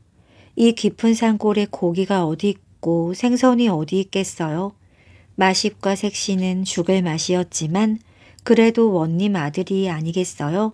마지막 남은 땡전을 탈탈 털어서 장에 가서 고기를 사다 국을 끓여 주었어요. 그러느라 돈도 다 떨어지고 양식도 바닥이 났습니다. 할 수 없이 마십은 산으로 나무를 나러 갔어요. 그 바람에 집에는 색시랑 원님 아들 둘만 남게 됐지요. 색시는 쌀통 밑바닥에 남은 쌀을 닦다 긁어 모아 솥에다 밥을 앉혔습니다. 원님 아들 점심밥을 차려주려고 말이에요. 그런데 원님 아들이 부엌에 들어와서 물을 한 대접 달래는 거예요. 색시가 물 한 사발을 내밀었더니 다짜고짜 손목을 쥐면서 이러는 겁니다. 내가 비단 옷 입혀줄 테니 우리 집으로 갑시다. 색시는 손을 획 뿌리치며 말했습니다. 나는 비단 옷 싫어요. 그러자 원님 아들이 말했어요. 나를 따라오면 날마다 맛있는 걸 뱉어지게 먹을 수 있다오. 난 우리 서방님과 함께 먹는 밥이 세상에서 제일 맛있어요. 나를 따라오면 평생 동안 손가락 하나 까딱하지 않고 살 수 있다오. 난 서방님을 위해 밥하고 빨래하는 게 너무나 즐거워요. 나를 따라오면 금가락지, 은가락지에 온갖 예쁜 보물을 다 가질 수 있다오. 그런 보물이 서방님이 꺾어다 주는 들꽃만큼 예쁠까요? 말로는 당할 수가 없자 원님 아들은 색시의 손을 억지로 잡아 끌었어요. 그러지 말고 따라오시오. 이거 놓으세요.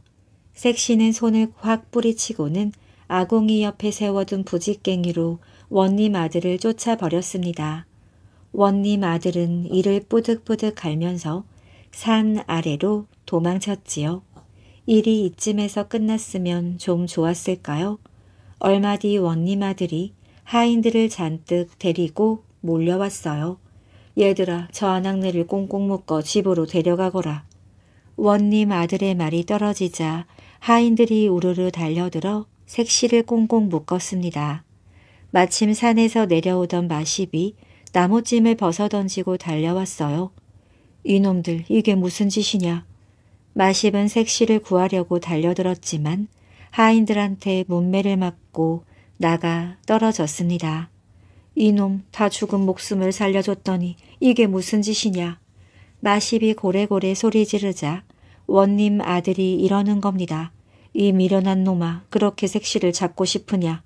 그래 꼭 찾고 말 테다. 찾을 방법이 한 가지 있기는 있지. 내가 알려줄 테니 그렇게 할 테냐.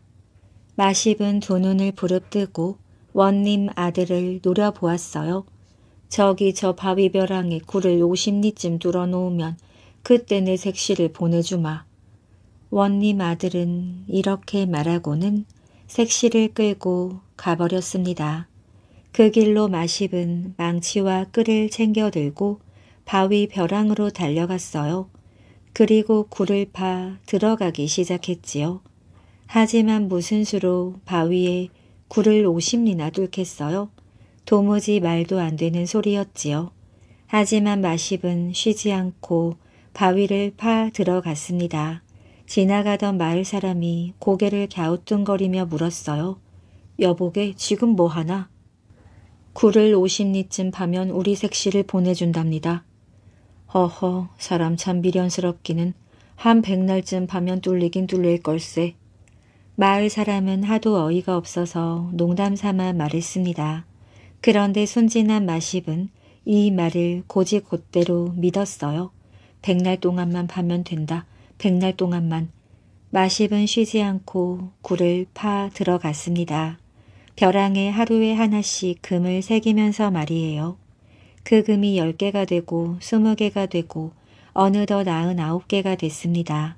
하지만 그동안 파들어간 굴은 깊이가 고작 한 뼘이 될까 말까였어요. 참 한심한 노릇이었지요. 50리를 다 파려면 백날이 아니라 백년이 걸려도 모자랄 지경이었습니다. 하지만 그걸 아는지 모르는지 마십은 백날째 되는 날에도 쉬지 않고 망치질을 했어요. 그런데 이게 웬일일까요? 망치질을 하던 자리에서 커다란 바위 하나가 굴러 떨어지더니 신기하게도 굴이 뻥 뚫리지 뭐예요. 벼랑 속에 원래부터 굴이 있었던 겁니다. 마십은 얼른 굴 안으로 들어갔어요. 굴은 갈수록 점점 넓어졌습니다.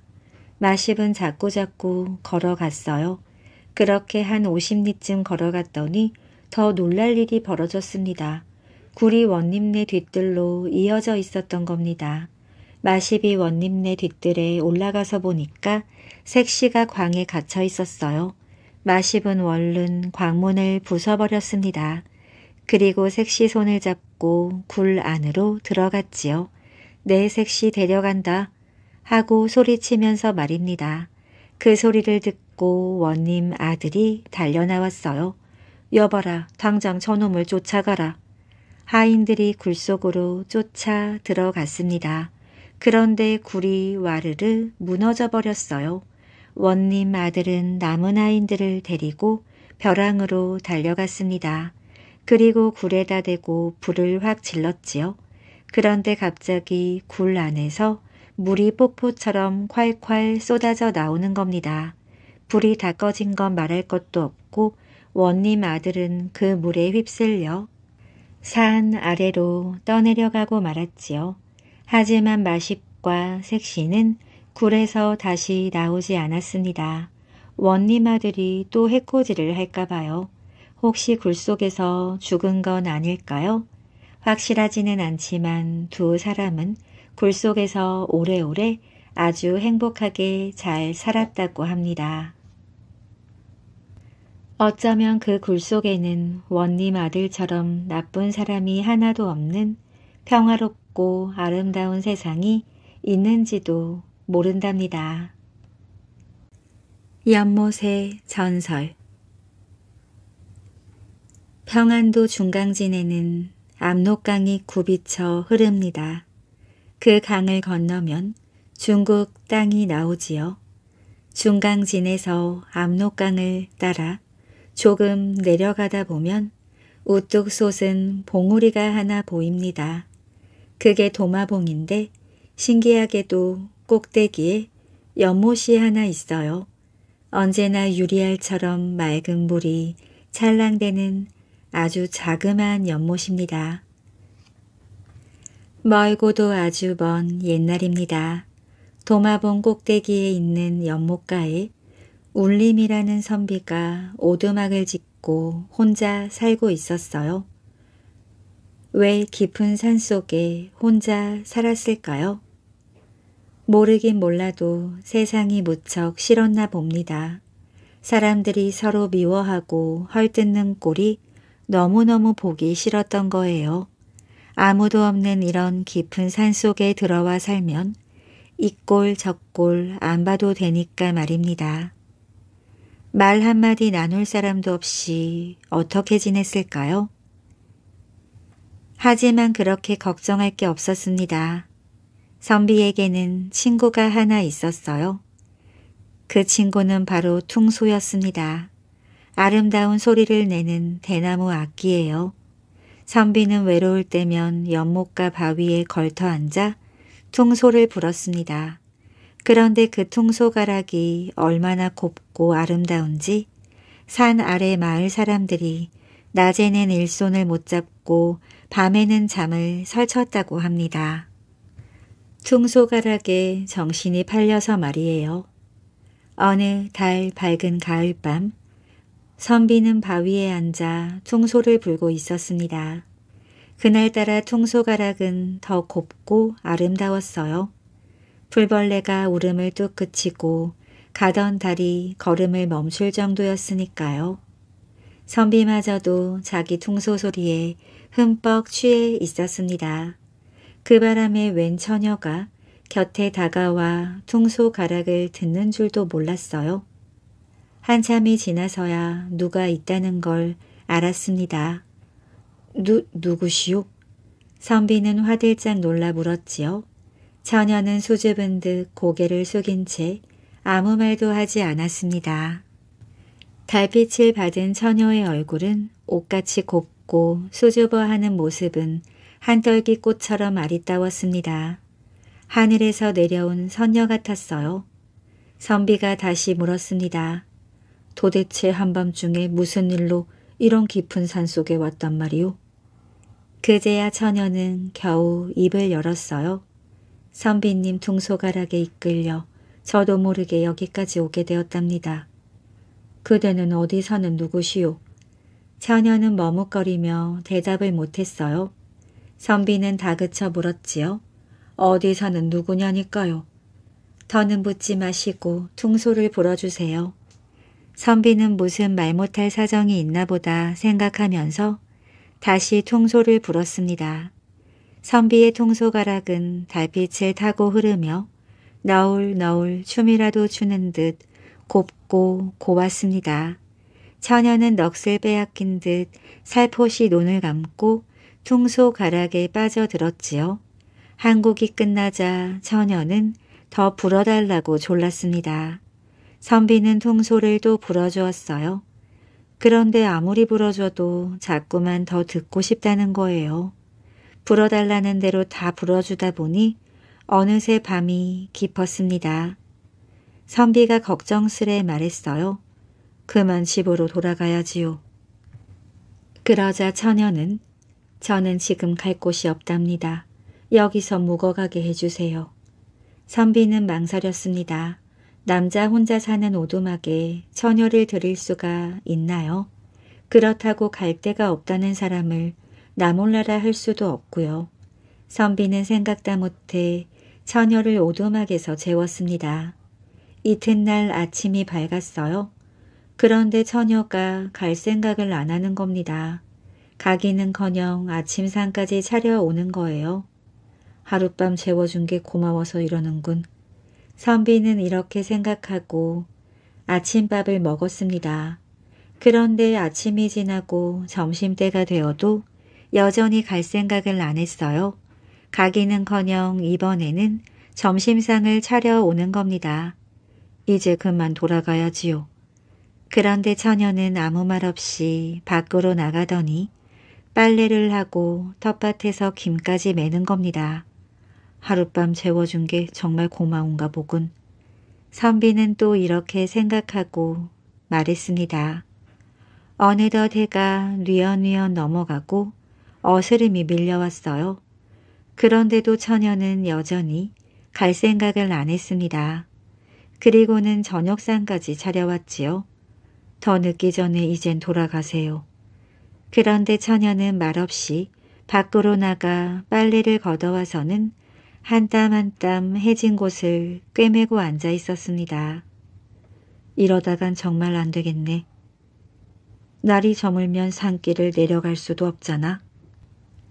그렇게 생각한 선비는 정말 돌아가야 한다고 말했습니다. 그러자 처녀가 입을 열었지요. 선비님, 저는 갈 곳이 없어 떠들고 있답니다. 아니, 갈 데가 없다니요. 저는 정말 어디에도 돌아갈 곳이 없어요. 여기서 선비님 통소 소리를 들으면서 살게 해주십시오. 이렇게 아리따운 처녀가 산속에 혼자 있는 자기와 살겠다니요. 선비는 꼭 여우에 홀린 기분이었습니다. 하지만 선비는 처녀의 말을 들어주었어요. 어느새 처녀를 깊이 사랑하게 되었거든요.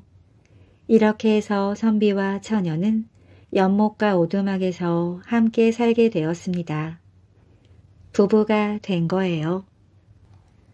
두 사람은 서로 아끼고 보살펴 주면서 깨가 쏟아지게 다복다복 살았습니다.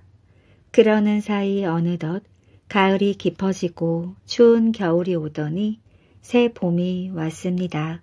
마을 사람들은 저마다 논을 갈고 밭을 갈아 씨를 뿌렸지요.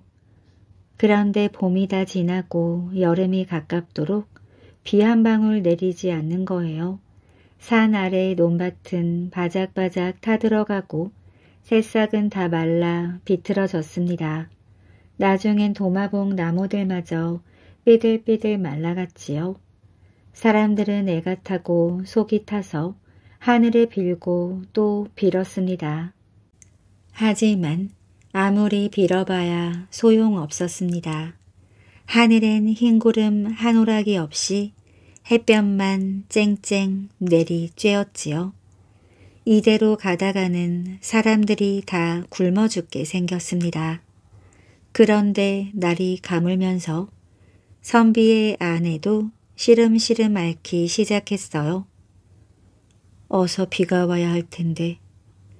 아내는 비걱정을 하느라 도무지 먹지도 잠을 이루지도 못했습니다. 그러는 사이에 몸은 수수때처럼 바싹 마르고 곱던 얼굴은 아주 못쓰게 망가져 버렸어요. 선비는 온갖 약을 구해다 아내에게 먹였습니다. 하지만 아내의 병은 점점 깊어만 갔어요. 여보, 제발 기운을 차리시오. 아, 끝까지 비가 오지 않다니 내 잘못이 너무 큰가 봐요. 비가 오지 않는 게 하늘의 뜻이지 어째서 당신 탓이란 말이오. 그러자 아내는 눈물을 흘리며 가슴에 묻어두었던 비밀을 털어놓았습니다. 저는 원래 저 연못에 사는 물고기예요. 당신 퉁소 소리에 이끌려 저도 모르게 무트로 올라오게 된 거지요. 당신이 물고기라니 그게 무슨 말이오? 선비는 눈이 휘둥그레졌습니다. 비가 내리지 않는 건 모두 제 탓이에요. 연못에 살아야 할 물고기가 무태 올라온 벌로 하늘이 비를 내려주지 않는 겁니다. 도대체 그게 무슨 말이오? 선비는 도무지 믿을 수가 없었습니다. 더 늦기 전에 저는 연못으로 돌아가야 해요.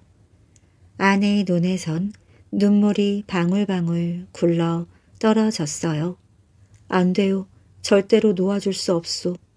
선비는 펄펄 뛰었지요. 제가 돌아가지 않는다면 마을 사람이 다 죽게 돼요. 아, 어떻게 이런 일이 있단 말인가. 정말 이러지도 저러지도 못할 일이었습니다. 아내를 붙잡자니 마을 사람들이 다 죽게 생겼고 마을 사람들을 살리자니 아내를 보내야만 했습니다. 제가 떠나고 없더라도 잘 지내셔야 해요. 그리고 저를 위해 연못가에서 이따금 퉁소를 불어주세요. 그럴 수는 없소. 무슨 일이 있어도 당신을 보낼 수는 없소. 하지만 아내는 벌써 온데간데 없이 사라져 버렸습니다. 선비는 밖으로 뛰쳐나갔습니다. 부엌문을 벌컥 열어보고 안에도 가보았어요. 헛간에도 가보고 울 밑도 살펴보았습니다. 하지만 아내는 집안 어디에도 보이지 않았어요. 선비는 연못으로 달려갔습니다. 하지만 거기에도 아내는 보이지 않았어요. 퉁소를 불면 돌아오겠지. 선비는 바위에 걸터 앉아 퉁소를 불기 시작했습니다.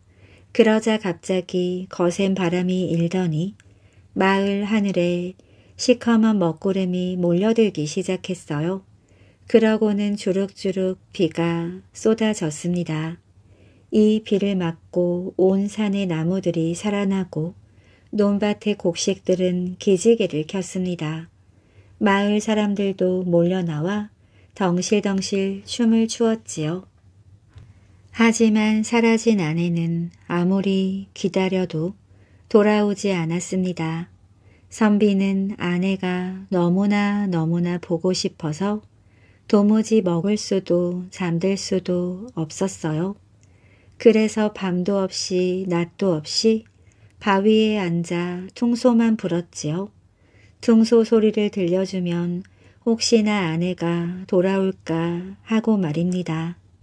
그날도 선비는 바위에 앉아 하염없이 퉁소를 불고 있었습니다. 그런데 어디서 아내 목소리가 들려오는 거예요. 서방님 저 여기 있어요.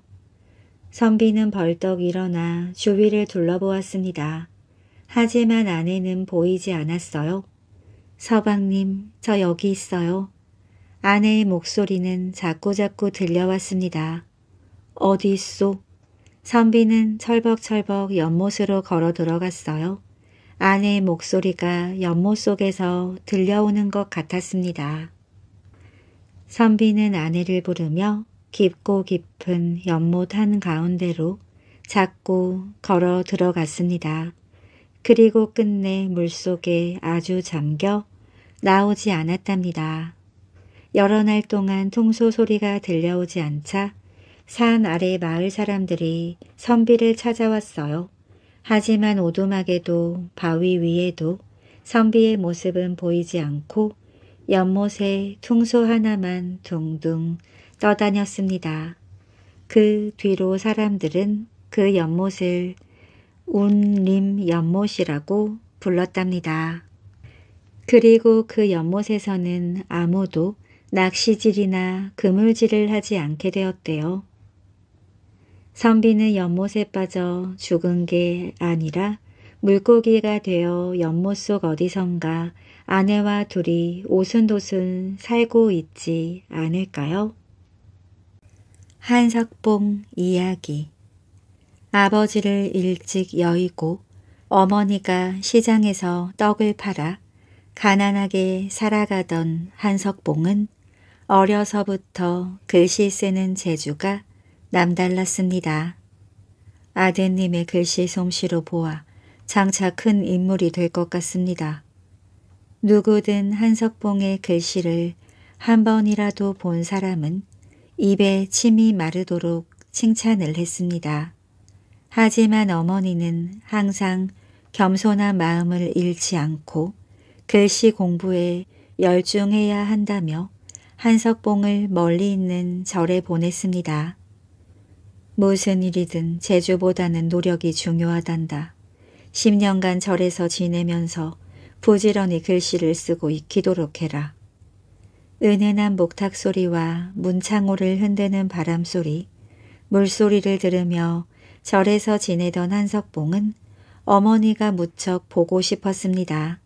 가난한 살림에도 자신을 글방에 보내주셨던 어머니의 정성을 나몰라라 하며 친구들과 어울려 놀았던 자신이 부끄럽기도 했어요. 어머니는 지금쯤 뭘 하고 계실까?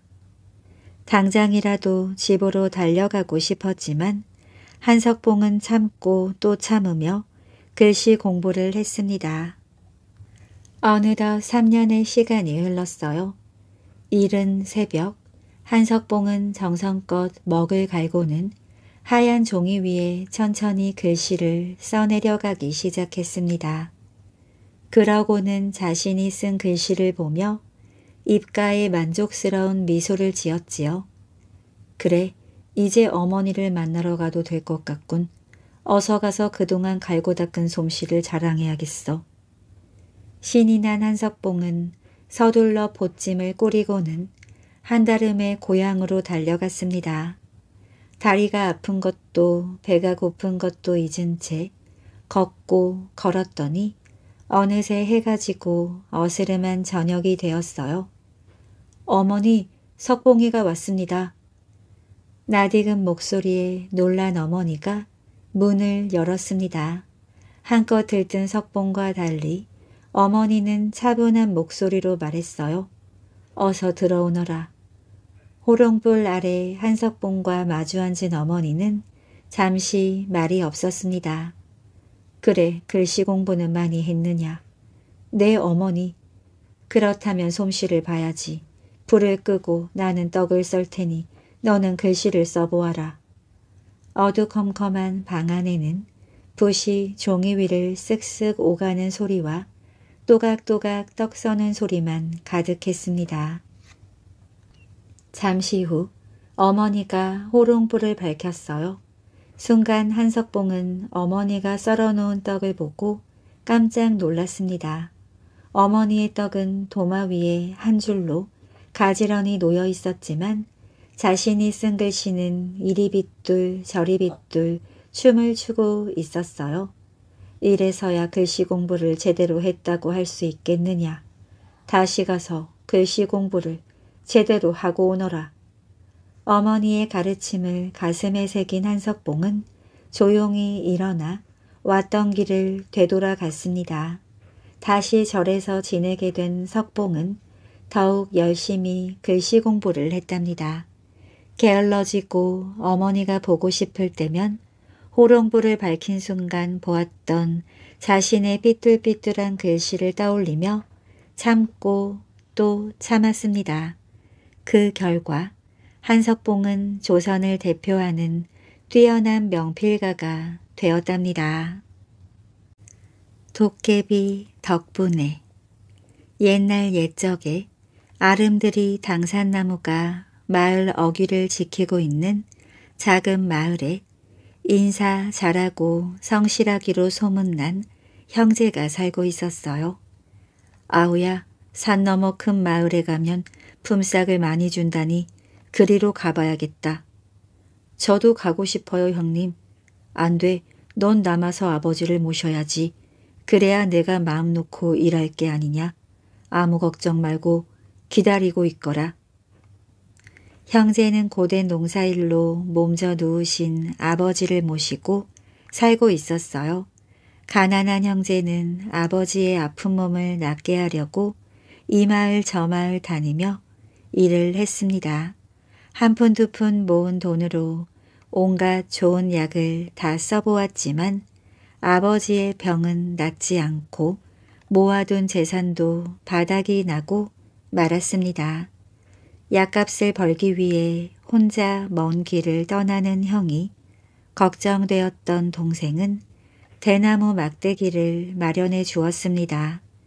친구 삼아 들고 가세요 형님.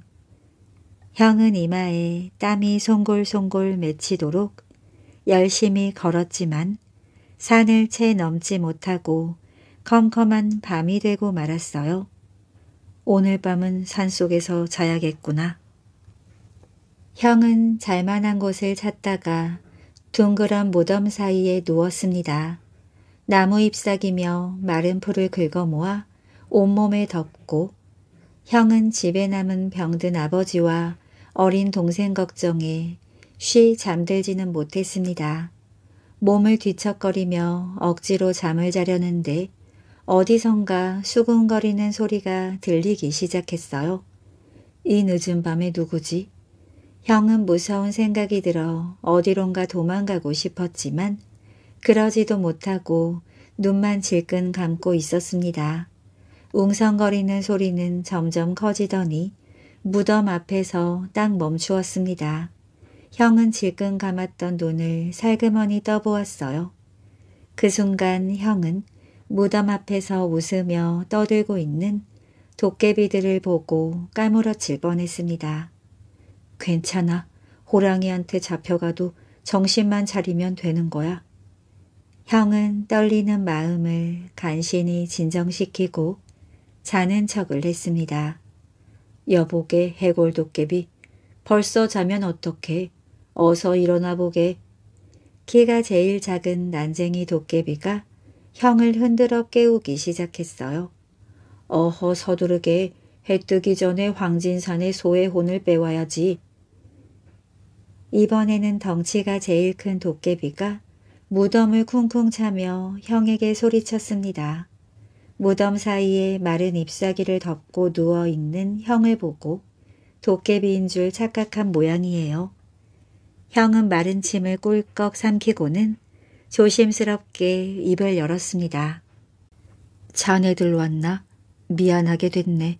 난 온몸이 쑤시고 아파서 못 가겠네. 엄살은 여전하구먼. 내 등에 업히게. 덩치 큰 도깨비는 형을 덥석 엎더니 아랫마을로 향했습니다. 도깨비 등에 엎인 형은 가슴이 조마조마하고 등에 땀이 줄줄 흘렀지요. 어째 자네 몸이 무겁네. 덩치 큰 도깨비는 이상하다는 듯이 고개를 갸웃거렸습니다. 죽은 지 한참 된 해골이 무거울 리가 있나. 어디 팔 좀 내밀어 보게. 덩치 큰 도깨비의 말에 형은 얼른 동생이 준 대나무 막대기를 내밀었습니다. 음, 물기 없이 딱딱한 것을 보니 해골이 맞군. 도깨비들은 아랫마을에 도착하자마자 아프다는 형을 바닥에 내려놓고 황진산의 집으로 갔습니다. 얼마 뒤 도깨비들이 돌아오는 소리가 들렸어요. 겁이 난 형은 재빨리 컴컴한 구석에 숨었습니다. 아까 정대감 집 셋째 딸 말이야. 내일이면 조상을 치르겠어. 그러게 말일세. 쑥을 다려 먹이면 나을 텐데 엉뚱한 약만 쓰고 있지 않은가?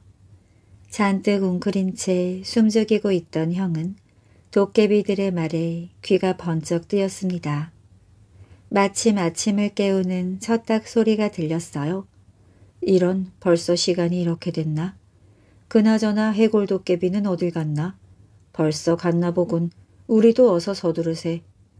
도깨비들은 서둘러 마을을 벗어나 산 쪽으로 달려갔습니다. 형은 도깨비들이 떠나자 불이 나게 정대감 집으로 갔습니다. 그러고는 며칠째 누워있는 셋째 딸에게 쑥을 다려 먹였어요. 고맙네. 정말 고마워. 어떤 약도 듣지 않아 얼마나 마음을 졸였는지 모른다네. 젊은이 우리 집에서 며칠 편히 쉬고 가게나. 딸의 목숨을 구해준 형에게 정대감은 며칠 머물다 가라고 했지만 형은 아픈 아버지와 어린 동생이 눈에 어른거려 그럴 수 없었습니다. 형은 정대감이 딸의 목숨을 구해준 보답으로 돈과 폐물을 가득 주어서 많은 돈과 폐물을 가슴에 안은 채 서둘러 집으로 향했답니다. 양초와 도깨비 이웃 마을 외에는 멀리 가본 적이 없는 사람들이 살고 있는 작은 산골 마을이 서울 이야기로 들썩이기 시작했습니다. 송서방이 얼마 전 서울 구경을 다녀왔기 때문입니다. 송서방은 여기저기 볼 것 많고 이것저것 먹을 것 많은 서울 구경에 입이 쩍 벌어졌는데 그 중에서 제일 좋은 구경거리는 임금님이 사시는 궁궐과 불만 갖다 대면 활활 타오르는 양초였습니다. 송서방은 양초가 얼마나 신통방통해 보이던지 산골로 돌아오는 길에 양초만 한가득 사가지고 왔지요. 그러고는 몇 날 며칠 동안 마을을 돌아다니며 서울 이야기를 해주고 이야기가 끝나면 양초를 한 자루씩 선물로 주었답니다. 마을 총각 다섯 명은 가늘고 하얀 양초가 무엇인지 궁금해서 견딜 수 없었습니다. 참다 못한 총각들은 마을에서 제일 똑똑한 훈장을 찾아갔어요. 어르신, 송서방이 집집마다 허연 것을 한 자루씩 나누어 주었는데 훈장님도 받았습니까? 물론 가져왔지. 우리 집에는 다섯 개나 가져왔더군. 훈장어른 이 가늘고 허연 것이 무엇입니까? 옛기 사람들아 젊은 사람들이 그것도 몰라. 훈장도 처음 보는 물건이지만 차마 모른다고 할 수 없어서 아는 척을 했습니다. 이건 국을 끓여 먹는 생선이라네. 서울 사람들은 죄다 이것으로 국을 끓이지. 이렇게 딱딱한 것으로 국을 끓여요? 북어도 딱딱하지 않은가. 생긴 건 이래도 맛은 좋아. 거참 요상하게 생긴 생선입니다. 눈도 없고 코도 없어요. 눈 없는 생선을 바짝 말린 것이라네. 다들 훈장의 설명에 아하 소리를 연발하며 고개를 끄덕였지만 정작 훈장은 거짓말을 하느라 입이 바싹 바싹 탔습니다. 훈장어른 국맛이 궁금합니다. 끓이는 방법 좀 일러주십시오. 훈장은 맛있게 먹던 동태국을 떠올리며 물을 끓이다가 파와 물을 넣고 소금으로 간을 맞추라고 일렀습니다. 얼마 뒤 커다란 상에 국 여섯 그릇이 올라왔습니다. 어르신 어서 드세요. 그래야 저희도 먹죠. 훈장은 앞에 놓인 국을 보자마자 눈앞이 깜깜해졌지만 짐짓 태어난 척 했습니다. 어서들 들게 평생 한번 맛보기 힘든 음식이니 국물을 보아하니 반짝거리는 하얀 기름이 둥둥 떠 있었어요. 다들 숟가락을 든 채 먹지 못하고 쳐다만 보았지요. 어허 자네들은 고깃국도 안 먹어봤나. 좋은 국일수록 기름이 많이 생기는 걸세. 어서들 들게. 다들 매캐한 냄새와 목이 따끔거리는 것을 참으며 국을 먹었지만 정말 맛이 없었습니다. 눈가에 눈물이 그렁그렁한 채 억지로 국을 먹고 있는데 송서방이 훈장을 찾아왔습니다. 다섯 총각은 송서방을 보자마자 반가워 소리쳐 물었어요. 어서 오게나 자네가 준 생선으로 국을 끓였다네. 그런데 먹어보니 냄새도 지독하고 목도 아픈데 원래 이런 건가? 송서방은 양초가 둥둥 뜬 국을 보고는 기가 막혔습니다. 여보게들 이건 먹는 게 아닐세. 총각들은 송서방의 말에 수저를 팽개치고 물로 입을 헹궈내고 웩웩 토하는 등 요란을 떨었습니다. 그나저나 그런 얼토당토하는 소리를 누가 했는가? 훈장님이지. 훈장은 고개도 들지 못하고 홍당무가 되어 방바닥만 뚫어져라 보고 있었어요. 이건 호롱불보다 밝은 양초라는 것이네. 송서방이 양초 심지에 불을 붙이니 방안이 환해졌습니다. 에구머니 우리가 불을 삼켰구려. 짐짓 점잖게 앉아있던 훈장도 겁이 나는지 온몸을 떨었습니다. 급기야 다급해진 훈장이 소리쳤어요. 뱃속에서 큰 불이 나기 전에 물속으로 들어가세. 그러고는 훈장이 제일 먼저 마을 뒤 냇물로 뛰어들었습니다. 훈장을 뒤따라 다섯 총각도 냇물 속으로 풍덩풍덩 들어가서는 머리만 쏙 내놓았어요. 유난히 귀뚜라미 울음소리가 요란한 밤 마침 냇가를 지나가는 나그네가 있었습니다. 컴컴한 냇가를 지나기가 겁이 난 나그네는 흥얼흥얼 콧노래를 부르는데 냇물 위에서 수렁거리는 소리가 나자 덜컥 겁이 났습니다. 살금살금 다가가 냇가를 살펴보았더니 시커먼 사람 머리만 물 위에 둥둥 떠 있는 거예요. 도, 도깨비다.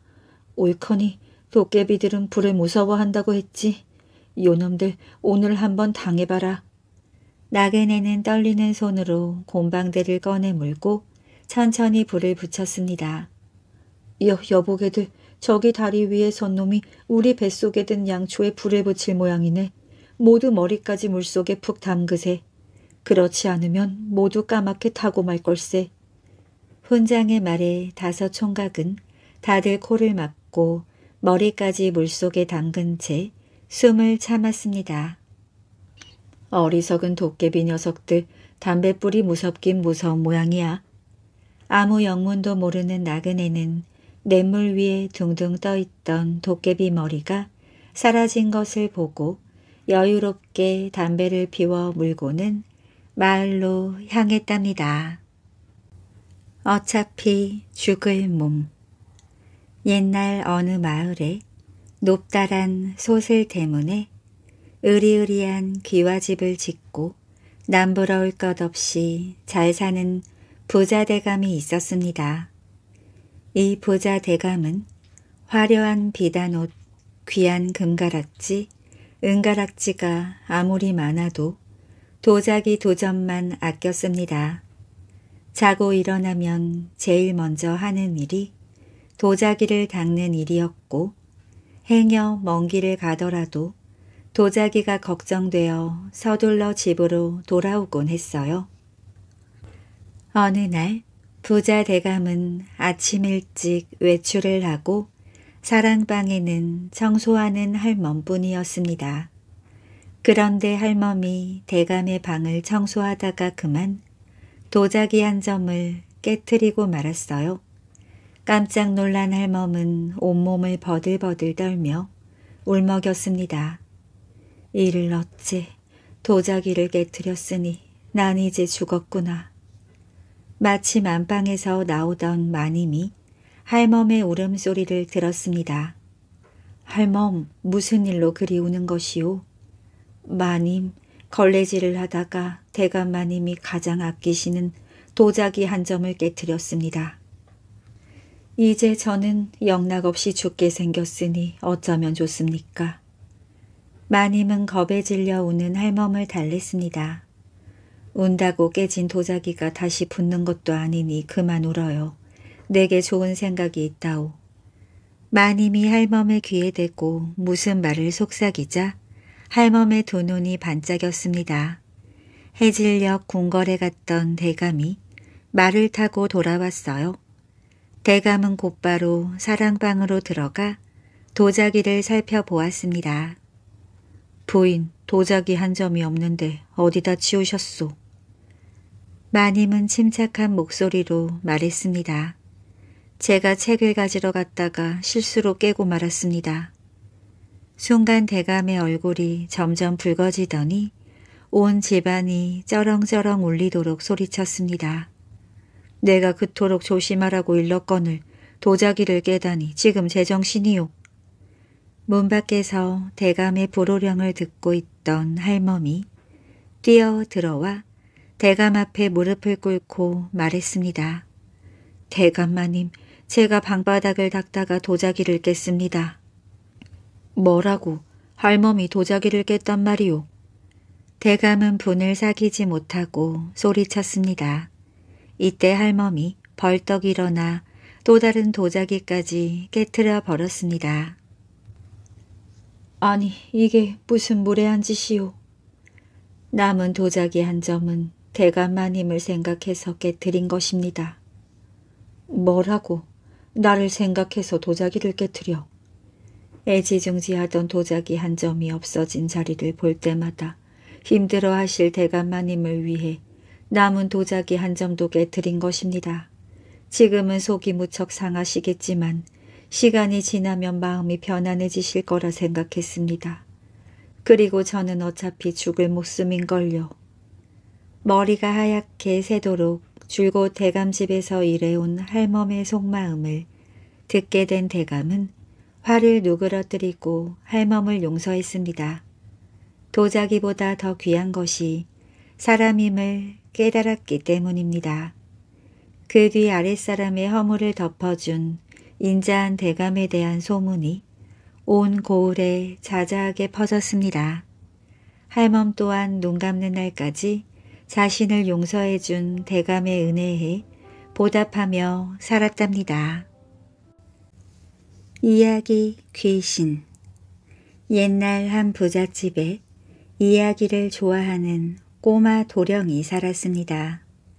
꼬마 도령은 밤이 되면 할머니에게 재미난 이야기를 들려달라고 졸랐답니다. 할머니 재미있는 이야기를 들려주세요. 또 오늘은 무슨 이야기를 해줄까? 할머니의 이야기를 들으면 시간이 가는 줄도 몰랐습니다. 그런데 도령에게는 이상한 버릇이 있었어요. 이야기를 듣고 나면 허리에 차고 다니는 주머니에 중얼중얼 이야기를 담아두었습니다. 그러고는 주머니를 꽁꽁 묶어 한번 주머니 속에 들어간 이야기는 밖으로 나오지 못하고 이야기 귀신이 되었답니다. 꼬마 도령은 무럭무럭 자라 어느새 장가갈 나이가 되었습니다. 장가가기 전날 밤 도령과 함께 잠을 자던 마당쇠는 이상한 소리를 들었답니다. 난 먹음직스러운 배가 되어 도령을 기다릴 거야. 난 시원한 옹달샘이 되어 도령을 기다릴 거야. 그럼 난 독침이 되어 초래청으로 가는 길에 숨어 있을 거야. 마당쇠가 들은 소리는 도령의 주머니 속에서 나온 말이었습니다. 도령의 주머니 속에서 오랫동안 갇혀있던 이야기 귀신들이 장가가는 도령을 죽이려고 작전을 짜는 소리였답니다. 이튿날 아침 아무것도 모르는 도령은 마당새와 함께 혼례를 치르기 위해 신부집을 향해 길을 떠났습니다. 해가 중천에 뜰 무렵 몹시 목이 마른 도령과 마당쇠는 시원한 물이 퐁퐁 샘솟는 옹달샘 옆을 지나가게 되었답니다. 옹달샘이잖아. 마당쇠야 목이 마르니 물이나 한 모금 마시고 가자. 도련님 이 옹달샘을 마시면 배탈이 날 수 있으니 신부집에 갈 때까지 참으세요. 도령은 옹달샘을 먹지 못하게 하는 마당쇠의 말에 일리가 있다고 생각했습니다. 한참을 가다 보니 먹음직스러운 배가 주렁주렁 달린 나무가 보였어요. 배가 먹음직스럽게 달렸구나. 마당쇠야 시원하게 배나 따먹자. 도련님 남의 배를 함부로 따먹으면 안 되지요. 마당쇠는 이번에도 적당한 핑계를 대 도령이 배를 못 따먹게 했습니다. 드디어 도령과 마당쇠는 신부집에 도착을 했답니다. 아, 초래청 앞에 독침이 있네. 어떻게 해야 도련님을 안전하게 초래청에 들어가게 할 수 있을까? 잠시 국리를 하던 마당쇠가 말에서 내리는 도령을 번쩍 안고 독침을 피해서 초래청까지 들어갔습니다. 아니 마당쇠야 이렇게 무례한 행동을 하다니 용서하지 않겠다. 도령은 화가 나서 마당새를 꾸짖었어요.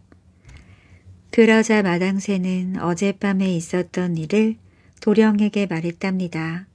마당새야 네가 나를 살렸구나. 정말 고맙다. 도련님 마땅히 제가 할 일인데요. 그보다 먼저 이야기 주머니 끈을 풀어 이야기들이 멀리 멀리 갈 수 있게 해주세요.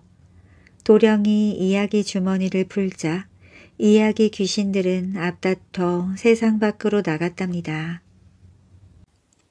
장기 전 옛날 깊고 푸른 숲속에 꿩 부부가 살았습니다. 사람을 멀리하는 꿩은 소나무를 정자 삼아서 밭과 들에 널려있는 곡식을 먹으며 살아갔습니다. 몸매가 날렵한 꿩은 알록달록 고운 깃털과 쭉 뻗은 꽁지깃이 아주 멋졌어요. 하지만 날짐승으로 태어나는 바람에 걸핏하면 포수와 사냥개에 잡혀가므로 평생을 숨어 지냈습니다. 어쩌다 좋은 경치를 보기 위해 구름 위로 우뚝 솟아오른 높은 봉우리에 허위허위 올라가면 기다렸다는 듯 보라매가 발톱을 세우고 이리로 휙 저리로 휙 꿩을 노렸습니다. 땅에서는 몰입꾼이 예서 우여 재서 우여 하고 냄새 잘 맞는 사냥개는 이리 컹컹 저리 컹컹 떡갈잎을 뒤적뒤적 찾아들어 매일매일 불안하게 살아갔습니다.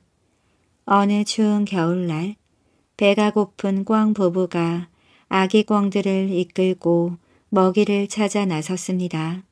청홍 비단 두루마기에 초록 깃을 달아 늠름한 대장부 모습의 아버지 장기, 촘촘한 누비 치마 저고리를 잘 갖추어 입은 엄마 까투리는 아홉 아들 열두 딸과 앞서거니 뒤서거니 걸어갔습니다.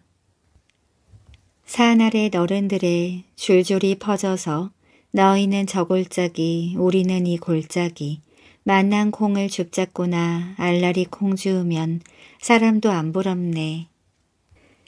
이렇게 노래를 부르며 들판에 떨어져 있는 콩알을 주우러 갔습니다. 마침 저 앞에 통통한 콩알이 덩그러니 놓여 있는 것을 장기가 발견했어요. 그 콩 먹음직스럽구나. 어디 맛있게 먹어보자. 이 모습을 지켜보던 까투리는 아무래도 불안했습니다.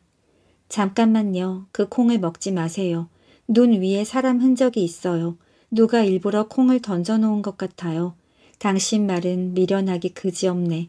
지금은 동지 섰달 눈 덮인 겨울인데다 이곳은 첩첩 산중이라 사람의 발길이 끊긴 곳 아니오. 장기가 까투리를 안심시켰지만 그래도 까투리는 간곡하게 말렸습니다. 그 말도 맞는 듯하지만 지난밤 꿈이 하도 불길해서 그래요. 나도 지난밤에 신기한 꿈을 꾸었소. 내가 황금색 학을 타고 하늘로 올라가서 옥황 상제께 문안을 드렸더니 상제께서 나에게 벼슬을 주고 콩을 한 섬이나 주셨소. 오늘 이 콩이 바로 그 콩일 것이요. 이제 줄인 배를 채워야지. 장기의 꿈 이야기를 들은 까투리는 얼굴이 파래졌습니다. 그것은 분명 나쁜 꿈이에요. 내 꿈의 북망산 쌍무지개가 갑자기 칼로 변하여 당신의 머리를 댕강 베었어요. 불길한 꿈이에요. 제발 그 콩을 먹지 마세요. 장기 또한 그대로 있지 않고 고개를 저으며 말했습니다. 그 꿈 또한 걱정하지 말게. 내가 장원급제하여 어사화를 쓰고 장안을 뽐내고 다닐 꿈이 분명하오. 오늘부터 과거 공부에 힘써 보겠네. 제가 꿈을 하나 더 꾸었는데 당신이 무쇠가마를 머리에 쓰고 깊은 물에 풍덩 빠졌어요. 그래서 내가 그 물가에 앉아 대성통곡하였으니 이거야말로 당신이 죽는 꿈 아니겠어요? 부디 그 콩일랑 먹지 마세요. 까투리의 애원에 장기가 대답했습니다. 그것은 더욱 좋은 꿈이요. 내가 대장이 되어 머리에 투구를 쓰고 전쟁에서 이길 꿈이 분명하오. 장기가 끝내 고집을 부리자 까투리는 어쩔 수 없이 물러났습니다. 장기는 꾸벅꾸벅 고개짓을 하며 콩 가까이 다가갔어요. 그러고는 반달 같은 부리로 콩을 콕 쪼았습니다. 그때 어디선가 벼락치는 소리가 쿵 하고 들렸습니다. 장기는 그만 몰입꾼의 덫에 걸려 죽고 말았답니다. 까투리는 기가 막히고 앞이 아득해졌어요. 까투리의 애통한 울음소리가 오랫동안 숲속에 메아리 쳤답니다. 호랑이에게 잡아먹힐 운명 옛날에 업이라는 아이하고 아버지 어머니가 셋이서 살았습니다. 어비는 나이가 아홉 살이며 씩씩하고 건강했어요. 아침나절에는 글방에 가서 공부하고 저녁 때는 산에 가서 나무도 했지요. 어느 날이었습니다. 스님 한 분이 어비네 집에 오셨어요. 스님은 목탁을 두드리면서 부처님께 시주를 해달라고 하셨습니다. 어빈의 어머니가 시주돈을 드리자 스님은 두 손을 모아 고개를 숙이고 돌아서서 집을 나가려는데 그때 글방에 갔던 어비가 돌아왔어요. 스님과 어비가 딱 마주친 겁니다. 그러자 스님 얼굴빛이 갑자기 하얗게 변하더니 큰일 났습니다. 이 애는 내일 밤 호랑이에게 잡아먹힐 겁니다. 하는 겁니다.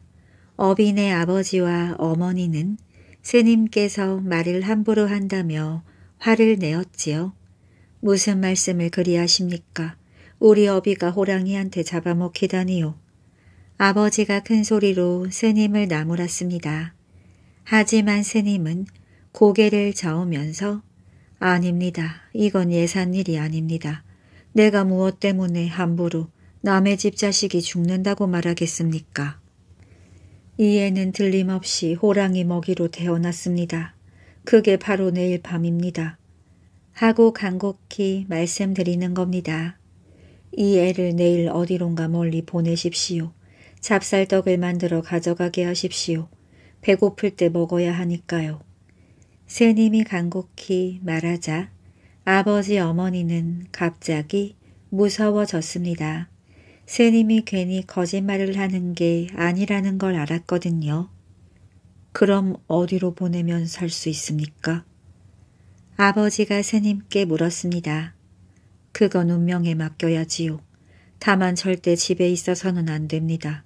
어디든지 이해가 가고 싶은 대로 멀리 멀리 가게 하십시오. 그럼 저는 이만 가겠습니다.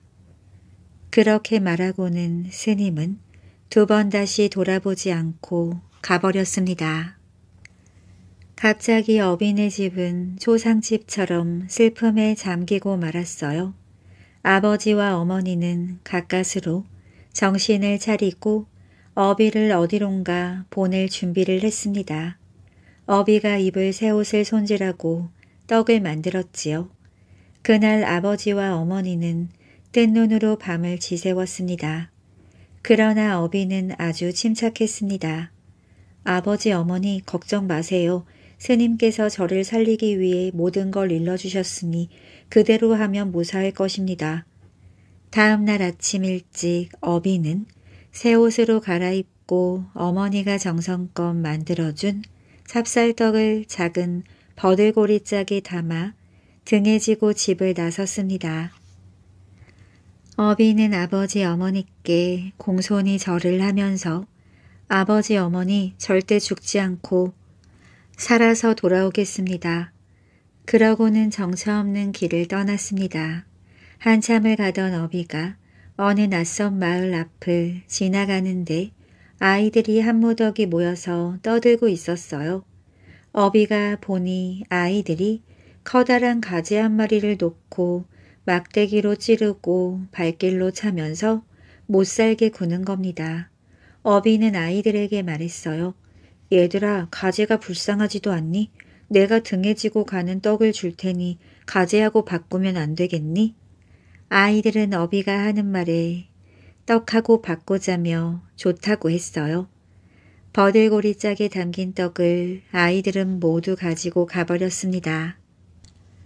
어비는 흑투성이가 된 가재를 집어들고 개울물에 가서 조심스레 놓아주었어요. 가재야 앞으로는 애들한테 잡히지 않도록 조심해라.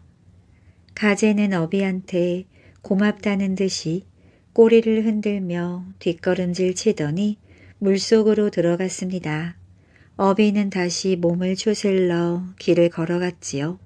등에 지고 가던 떡바구니도 없어져 몸이 가벼웠답니다. 어비는 부지런히 걸어갔어요.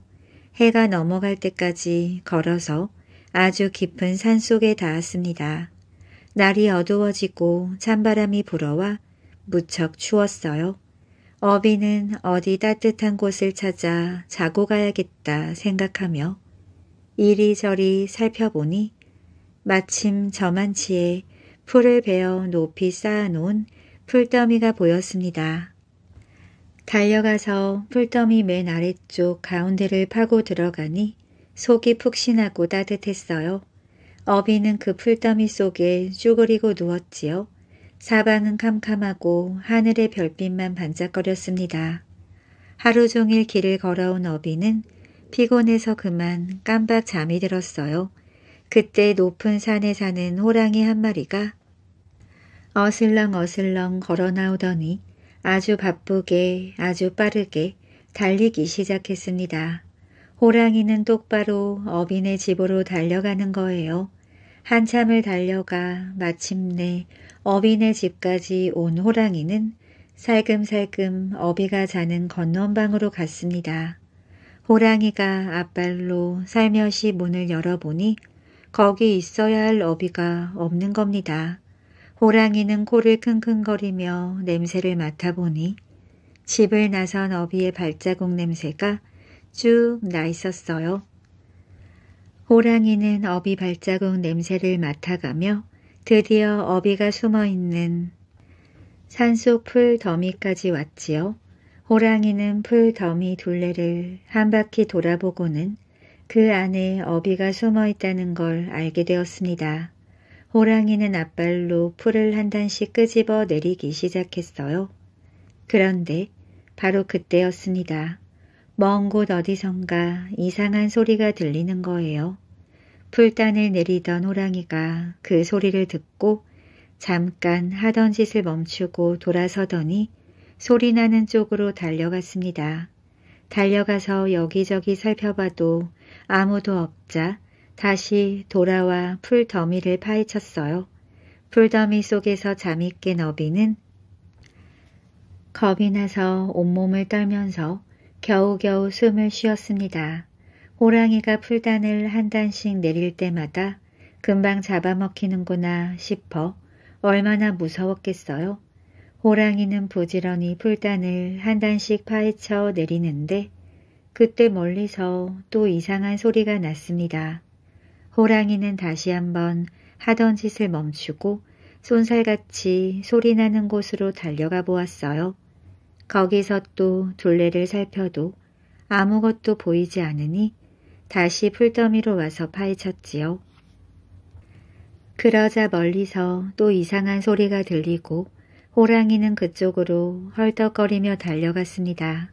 밤새도록 왔다 갔다 하다 보니 호랑이는 힘이 빠져 지치고 말았어요. 호랑이는 풀단을 계속 파헤쳐 이제 한 단만 드러내면 어비가 숨어있는 곳이 드러나게 되었습니다. 그때였어요. 멀리 마을에서 꽃기호하고 닭 우는 소리가 났지요.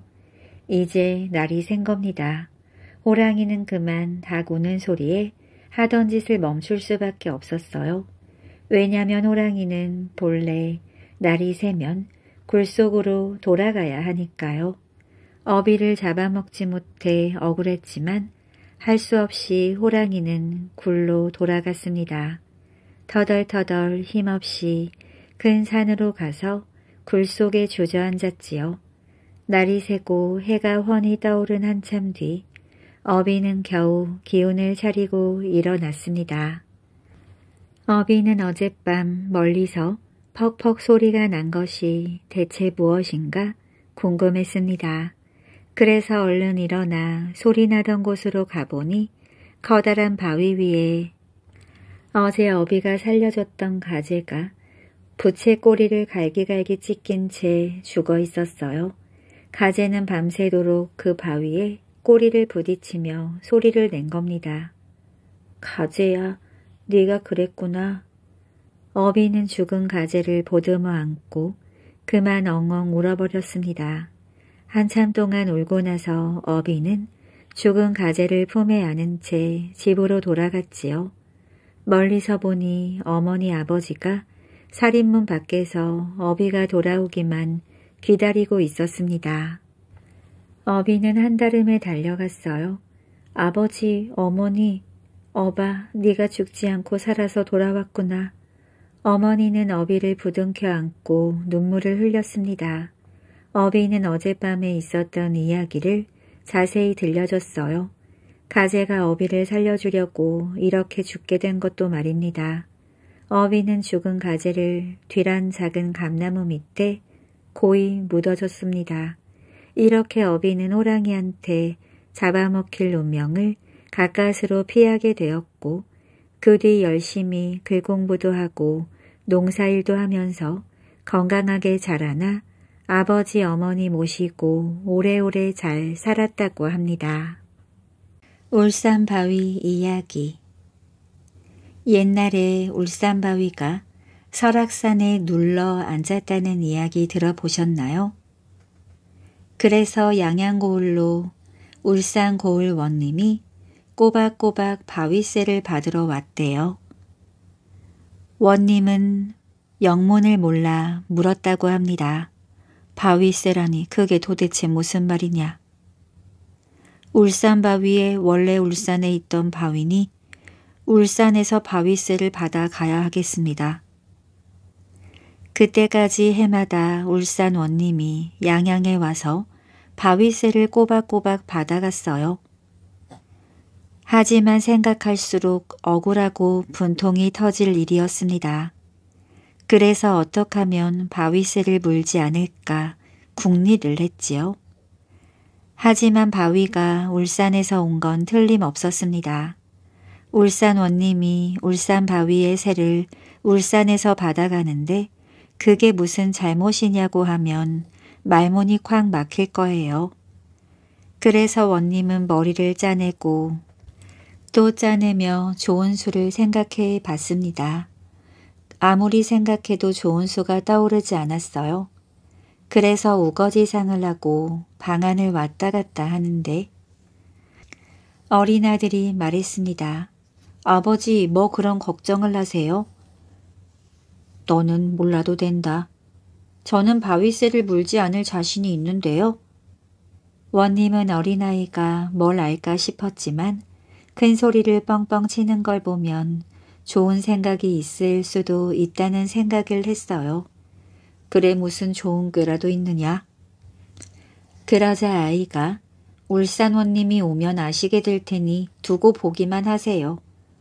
며칠 뒤 정말 울산 원님이 바위세를 받으러 왔습니다. 바위세를 받아 식호갈 마차까지 잔뜩 거느리고서 말이지요.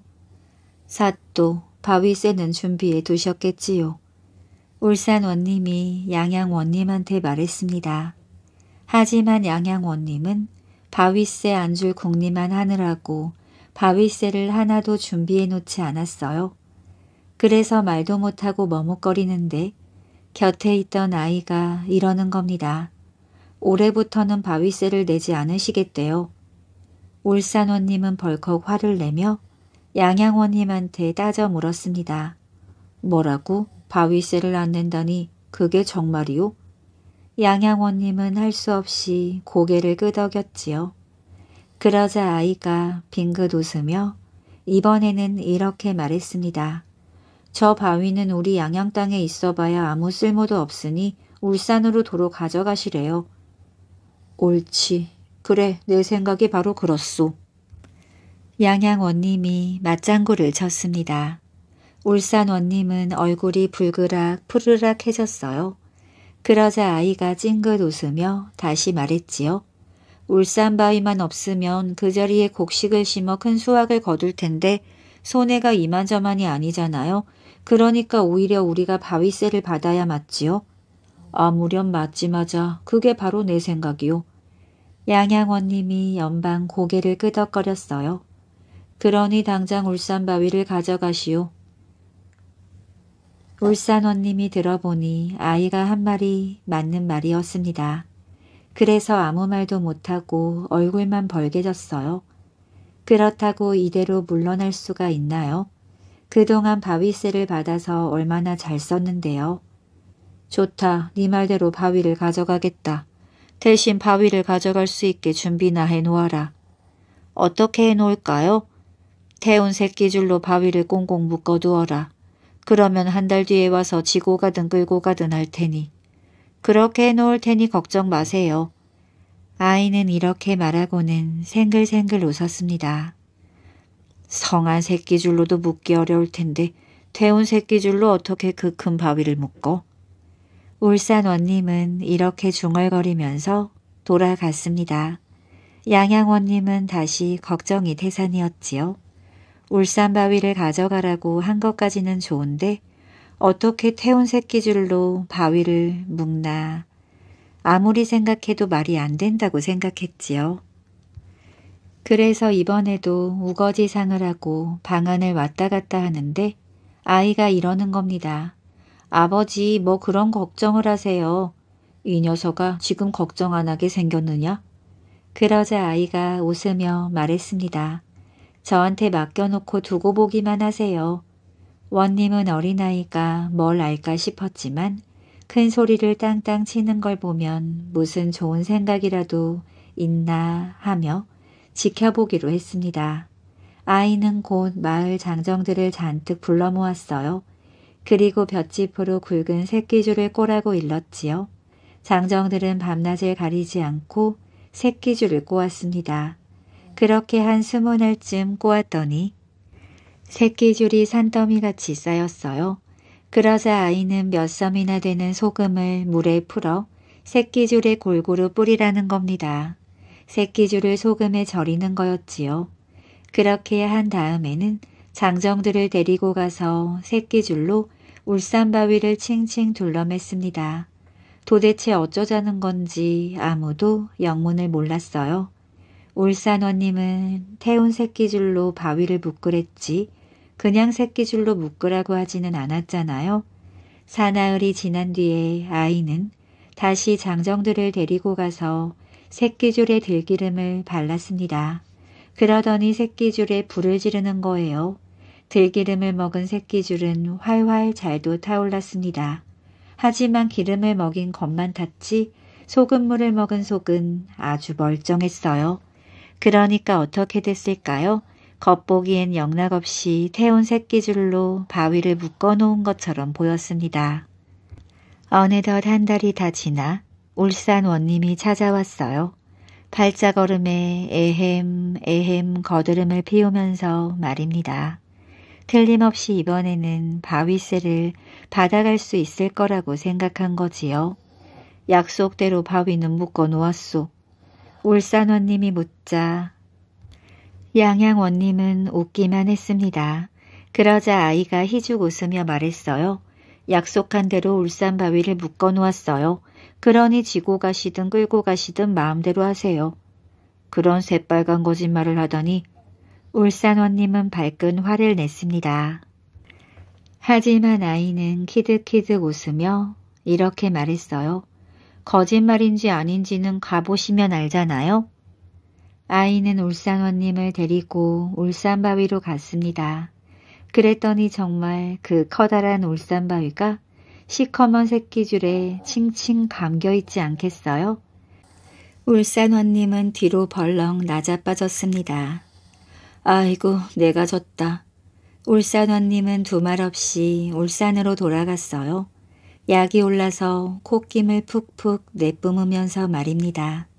이렇게 해서 다시는 양양고을이 울산 고을에 바위새를 물지 않게 되었다고 합니다. 욕심 많은 영감 옛날에 욕심 많은 부잣집 영감이 살았습니다. 어찌나 욕심이 많고 둘도 없는 구두쇠인지 언제나 밖에서 무언가를 들고 집에 들어가지 절대로 집안의 물건이 밖으로 나가게 하는 법이 없었어요. 그래서 자연히 재물이 모이고 모여 부자가 되었습니다. 부잣집 영감은 재물이 모일수록 재물 쓰는 것을 무척 아까워했어요. 그래서 이웃과 음식 한 그릇 나누어 먹는 일이 없었고 먼 길 가는 나그네에게 찬물 한 그릇 주는 일도 없었습니다. 어느 날 저녁이었습니다.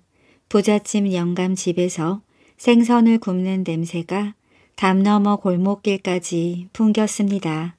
마침 들 일을 마치고 집으로 가던 농부는 이 냄새를 맡고 걸음을 뗄 수 없었어요. 음, 그 냄새 정말 좋구나. 하얀 쌀밥에 야들야들한 생선을 올려서 먹으면 얼마나 맛있을까. 하루 종일 들에서 일하느라 배가 고팠던 농부는 먹지는 못해도 냄새라도 실컷 맡자 하고 아이의 담벼락 밑에 쭈그리고 앉아서 냄새를 맡기 시작했습니다. 부잣집 영감이 저녁상을 기다리며 마당을 어슬렁거리는데 단밖에서 이상한 소리가 났습니다. 그래 무슨 일인가 하고 밖을 내다보니 웬 농부가 생선 굽는 냄새를 맡고 있는 것이 보였어요. 누가 남의 집 생선 굽는 냄새를 함부로 맡으라고 했나? 허락도 없이 냄새를 맡았으니 냄새 맡은 값으로 두냥을 내게. 부잣집 영감은 불그락 푸르락 성을 내며 말했습니다. 냄새 맡은 값이라니요. 농부는 영문을 몰라 물었어요. 내가 생선을 넉냥 주고 샀는데 자네가 그 냄새를 흠뻑 맡았으니 생선값의 반을 져서 두냥은 내야지. 부잣집 영감은 농부를 붙들고 돈을 내놓으라며 막무가내였습니다. 농부는 기가 차서 아무 말도 할 수 없었어요. 결국 내일 두냥 갖다 주겠다고 약속하고는 터벅터벅 걸어서 집으로 돌아갔습니다. 집에 돌아온 농부가 아내에게 말했어요. 그 부잣집 영감이 지독한 줄은 알았지만 이런 억지를 쓸 줄은 몰랐소. 냄새 맡은 값으로 두냥을 내라니. 아내도 농부를 바라보며 한숨을 내쉬었습니다. 그때 옆에서 조용히 듣고 있던 아들이 말했어요. 아버지 어머니 걱정 마세요. 제게 좋은 생각이 있어요. 이튿날 아들은 아버지에게 두냥을 받아서 부잣집으로 향했습니다. 지금 내가 부잣집 영감님네로 냄새 맡은 값을 치르러 갑니다. 아들이 이렇게 크게 소리치며 걸어가니 동네 사람들이 무슨 일인가 하여 우르르 따라갔습니다. 부잣집에 들어간 농부의 아들은 크게 외쳤지요. 여기 냄새 맡은 값 두냥입니다. 그러고는 돈이 든 주머니를 부자 영감 앞에 내보였습니다. 부잣집 영감이 돈을 받으려고 손을 뻗자 농부의 아들은 돈을 주지는 않고 짤랑짤랑 주머니만 흔들어 보였어요. 이놈 돈은 주지 않고 왜 주머니만 흔드느냐? 부잣집 영감이 화를 내자 농부의 아들이 침착한 목소리로 말했습니다. 우리 아버지께서는 생선을 먹은 것도 구경한 것도 아니고 생선 굽는 냄새만 맡았습니다. 그래서 저도 돈을 드릴 수도 보여드릴 수도 없고 돈 소리만 들려드리는 것입니다. 농부 아들의 말에 구경하던 사람들은 모두 웃음을 터뜨렸고 부잣집 영감은 창피해서 고개를 들지 못했답니다. 쇠조각 하나 옛날 어느 마을에 이 항복이라는 소년이 살고 있었습니다. 하루는 친구들과 함께 대장간 근처에서 놀던 이항복이 대장장이가 버린 쇠조각 하나를 주었습니다. 쓸모없는 쇠조각이잖아. 이 항복은 쇠조각을 발로 차며 놀다가 무심코 집으로 가져갔습니다. 저녁이 되어서야 집에 들어간 이 항복은 아버지에게 꾸중을 들었어요. 공부는 하지 않고 하루 종일 놀기만 하는 게냐? 무안해진 이 항복은 주머니 속에 있던 쇠조각을 꺼내 휙 내던졌습니다. 이를 본 어머니가 물었어요. 얘야, 지금 내가 던진 것이 무엇이냐? 대장간 근처에서 주운 못 쓰는 쇠조각입니다. 버려진 쇠조각이라고 아무 쓸모가 없는 것은 아니다. 이 쇠조각으로 못이나 송곳을 얼마나 많이 만들 수 있는지 생각해 보았니? 작다고 얕보아서는 안 된다. 어머니의 말씀을 깊게 새겨들은 이 항복은 그때부터 대장간에서 놀 때마다 버려진 쇠조각을 주워 모았습니다. 그로부터 3년의 시간이 흘렀어요. 대장장이는 갈수록 가난해져서 대장간조차 꾸려가기 어려워졌습니다. 대장장이가 왜 점점 가난해졌을까? 혹시 작은 쇠조각을 소홀히 해서 그런 것은 아닐까? 소문을 들은 이항복은 그동안 모은 쇠조각을 대장장이에게 가져다 주었습니다. 이게 무엇입니까? 그동안 내가 모은 쇠조각입니다. 여기서 주운 것들이니 다시 주인에게 돌려드리는 것이지요. 이양복이 모은 쇠조각은 어느새 큰 독 세 개 분량이나 되었습니다. 독마다 그득한 쇠조각을 본 대장장이는 깜짝 놀랐어요. 그 뒤 대장장이는 작은 쇠조각 하나라도 함부로 버리지 않고 소중히 다루며 대장간을 잘 꾸려갔답니다. 저승의 곡간 옛날 전라남도 영암에 살던 원님이 죽어서 염라대왕 앞으로 끌려갔습니다. 아이고 염라대왕님 소인이 왜 벌써 이곳에 와야 합니까? 전 아직 할 일이 많습니다. 살려주십시오. 원님이 간곡하게 부탁하자 염라대왕은 수명을 적어놓은 책을 펼쳐 보았습니다. 정말 원님의 나이가 너무 젊어서 염라대왕은 원님이 딱하다는 생각이 들었어요. 그래, 내 말이 맞구나. 좋다. 내 마음이 변하기 전에 얼른 돌아가거라. 염라대왕은 원님을 저승사자에게 돌려보냈습니다. 저승사자님, 이승으로 가려면 어떻게 해야 합니까? 힘들게 너를 여기까지 데려왔는데 그냥 보낼 순 없지. 너 때문에 헛걸음을 하였으니 돌아가려면 수고비를 내놓고 가거라. 전 지금 돈이 없는데요. 그래? 그렇다면 내 저승곡간에 있는 거라도 내놓아라. 저승 곡간이요? 사람은 누구나 저승의 곡간을 하나씩 가지고 있다. 이승에서 큰 부자로 살았다고 해도 저승 곡간은 비어 있을 수 있고 가난하게 살았다고 해도 꽉 차 있을 수 있다. 저승 곡간은 이승에서 좋은 일을 하는 만큼 재물이 쌓이도록 되어 있기 때문이다. 아, 그래요? 좋습니다. 내 곡간에 있는 것을 드리겠습니다. 저승사자는 원님을 곡간으로 데리고 갔습니다. 그런데 이게 웬일일까요? 원님의 젖은 곡간에는 볏짚 한 단만 덩그렇게 놓여 있었습니다. 아니 이 사람은 이승에서 착한 일과는 담을 쌓고 살았던 모양이네. 여기가 내 곡간이란 말이오? 그런데 왜제 곡간에는 고작 볏짚 한 단뿐인가요? 내가 이승에 있을 때 덕을 베푼 일이 없으니까 그런 것 아니냐? 자신의 저승곡간을 본 원님은 너무나 부끄러웠습니다. 아무리 생각해 보아도 남에게 덕을 베풀거나 착한 일을 한 기억이 떠오르지 않았기 때문이지요. 그나마 몹시 가난한 여인이 아기를 낳을 때 집이 없어서 쩔쩔매는 것을 보고 집한 단을 구해다 준 게 전부였습니다.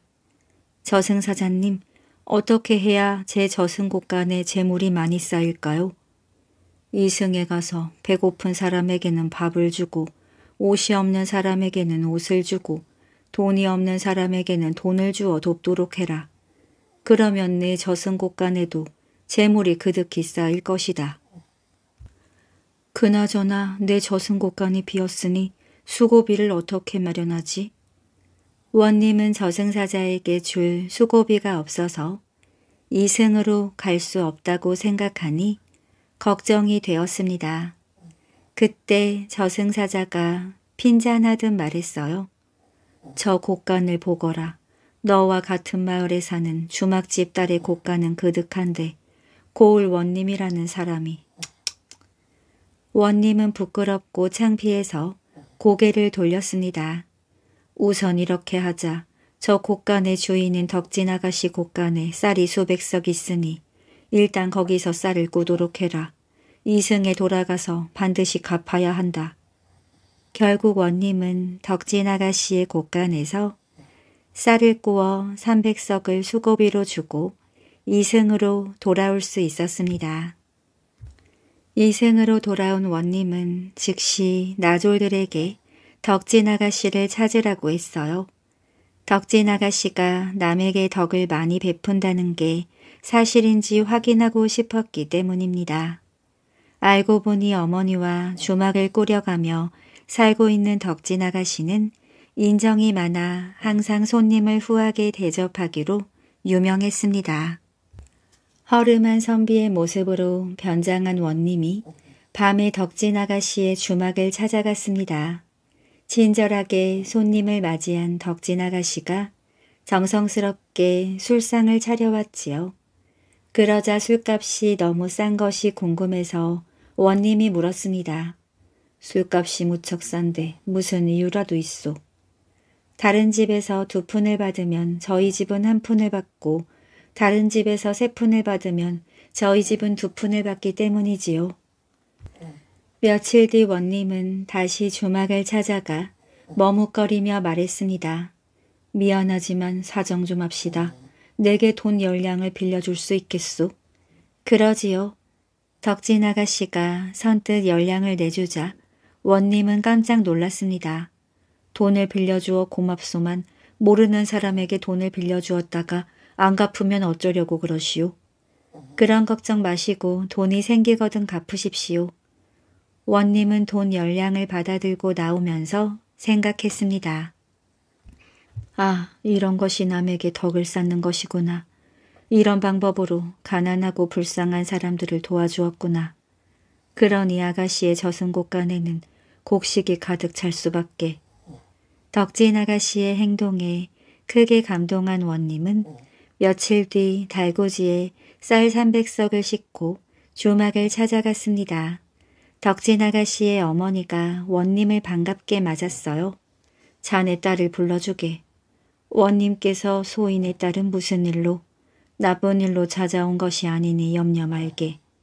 소리를 들었는지 덕진 아가씨가 방문을 열고 나왔습니다. 무슨 일로 저를 찾아오셨는지요? 너에게 빚진 쌀 300석을 갚으러 왔느니라. 네? 그게 무슨 말씀이세요? 더 이상 묻지 말고 그냥 받아들어라. 먼 훗날 너도 알게 될 것이다.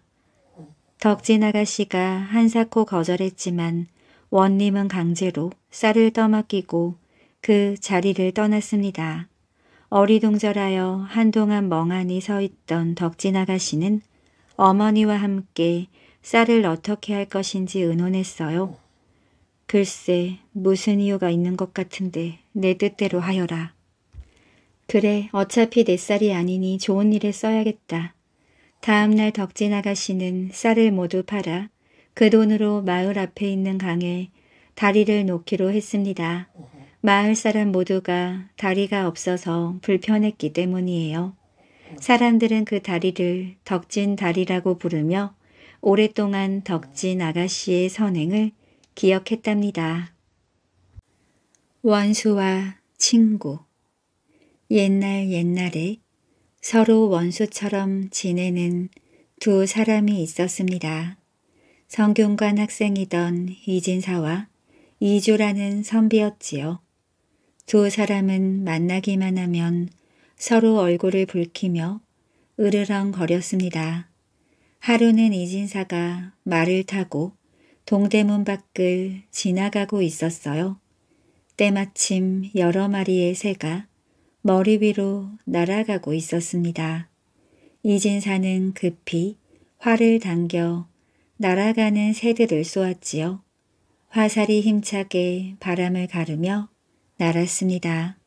날아가던 새 가운데 한 마리가 이진사가 타고 가던 말 위로 떨어졌습니다.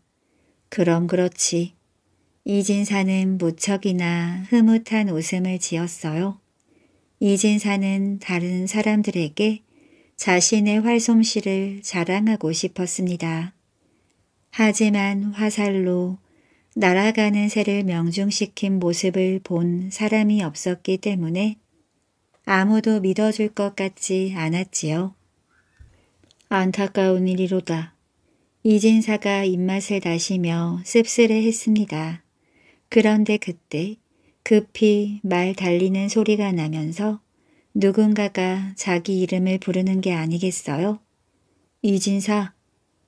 이진사가 냉큼 뒤를 돌아보니 이주였습니다. 이진사가 머리를 절레절레 흔들었어요. 원수 같은 이주가 달갑지 않기 때문이었지요. 이주는 이진사 옆으로 다가와서 말을 멈추었습니다. 이진사는 이주가 또 무슨 말로 시비를 거나 지켜보기로 했어요. 그런데 그게 아니었습니다.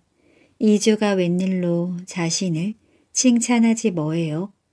내 평소에는 그렇게 안 봤는데 이제 보니 자네의 활솜씨가 보통이 아니군. 정말 명공일세. 이주의 칭찬에 이진사는 어안이 벙벙했습니다. 참 별일도 다 있지. 앙숙처럼 으르렁거리는 저지 웬 칭찬이람. 그렇지만 자신에게 칭찬을 해준 이주에게 화를 낼 수도 없었습니다. 그래서 이진사는 억지 웃음을 지어 보였어요. 그 다음 날 이진사는 성균관으로 들어가자마자 여러 친구들에게 자랑을 늘어놓았습니다. 내가 말일세 어제 말을 타고 동대문 밖을 지나는데 에이 농담이 무척 심하구먼. 친구 가운데 어느 누구도 그의 말을 믿어주지 않았습니다. 그때 옆에 있던 이주가 거들었어요. 정말일세 내가 어제 날아가는 새를 화살로 쏘아 맞히는 것을 이 두 눈으로 똑똑히 보았네. 이주의 이 한마디에 모여있던 친구들의 입이 모두 쩍 벌어졌습니다. 두 사람이 서로 앙수관이었나?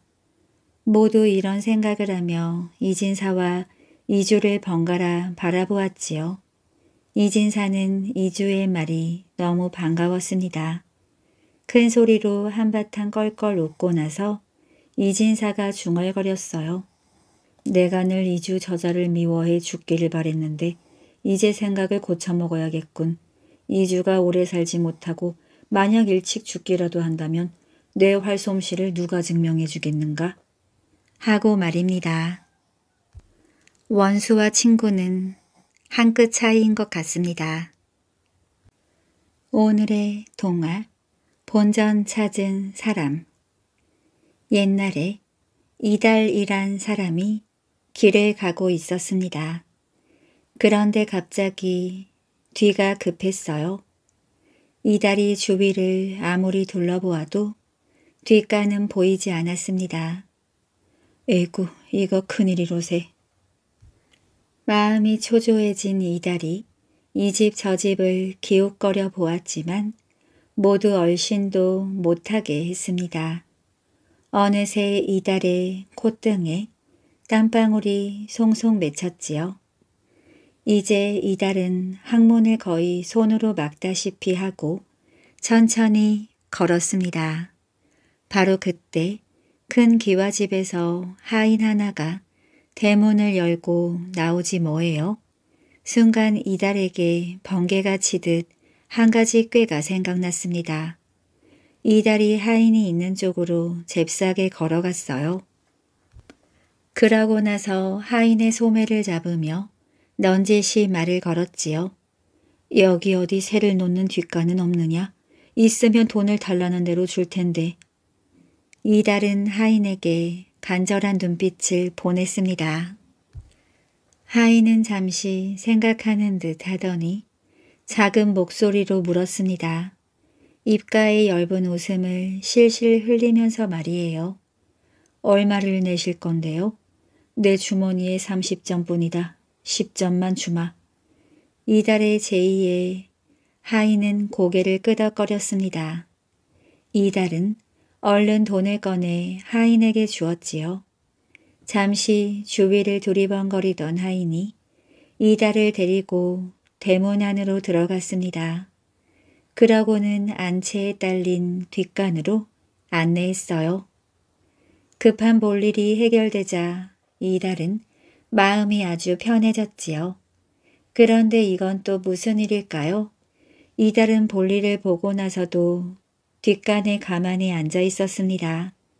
하인은 뒷간 앞에서 발을 동동 굴렀어요. 아무리 기다려도 이달이 나오지 않자 마음이 다급해졌거든요. 손님, 주인이 알면 큰일 나요. 빨리 나오세요. 아직 볼일을 덜 보셨나요? 하인이 이달을 조급하게 재촉했습니다. 그러자 이달이 이렇게 대꾸했어요. 볼 일은 벌써 다 보았다. 예? 그러면 얼른 나오셔야지요. 하인이 다행이라는 듯 말했습니다. 그런데 이달이 전혀 예상하지 못했던 말을 꺼내지 뭐해요. 그런데 뒷간에 새를 들겠다는 사람이 없어 이렇게 기다리고 있는 게다. 나도 새를 놓아야 본전을 찾을 수 있지 않겠느냐. 이 말을 들은 하인은 더러 겁이 났습니다. 주인이 알게 되면 큰일이었거든요. 하인은 하는 수 없이 이달에게 받았던 돈을 다시 뒷간 안으로 밀어 넣었습니다. 울며 겨자를 먹는 심정으로 말이에요. 본전 여기 있으니 빨리 나오세요.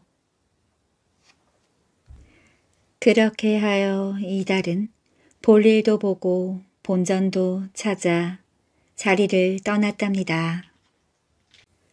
아버지의 담배 멀고도 먼 옛날 어느 가난한 집에 아버지와 아들이 살고 있었습니다.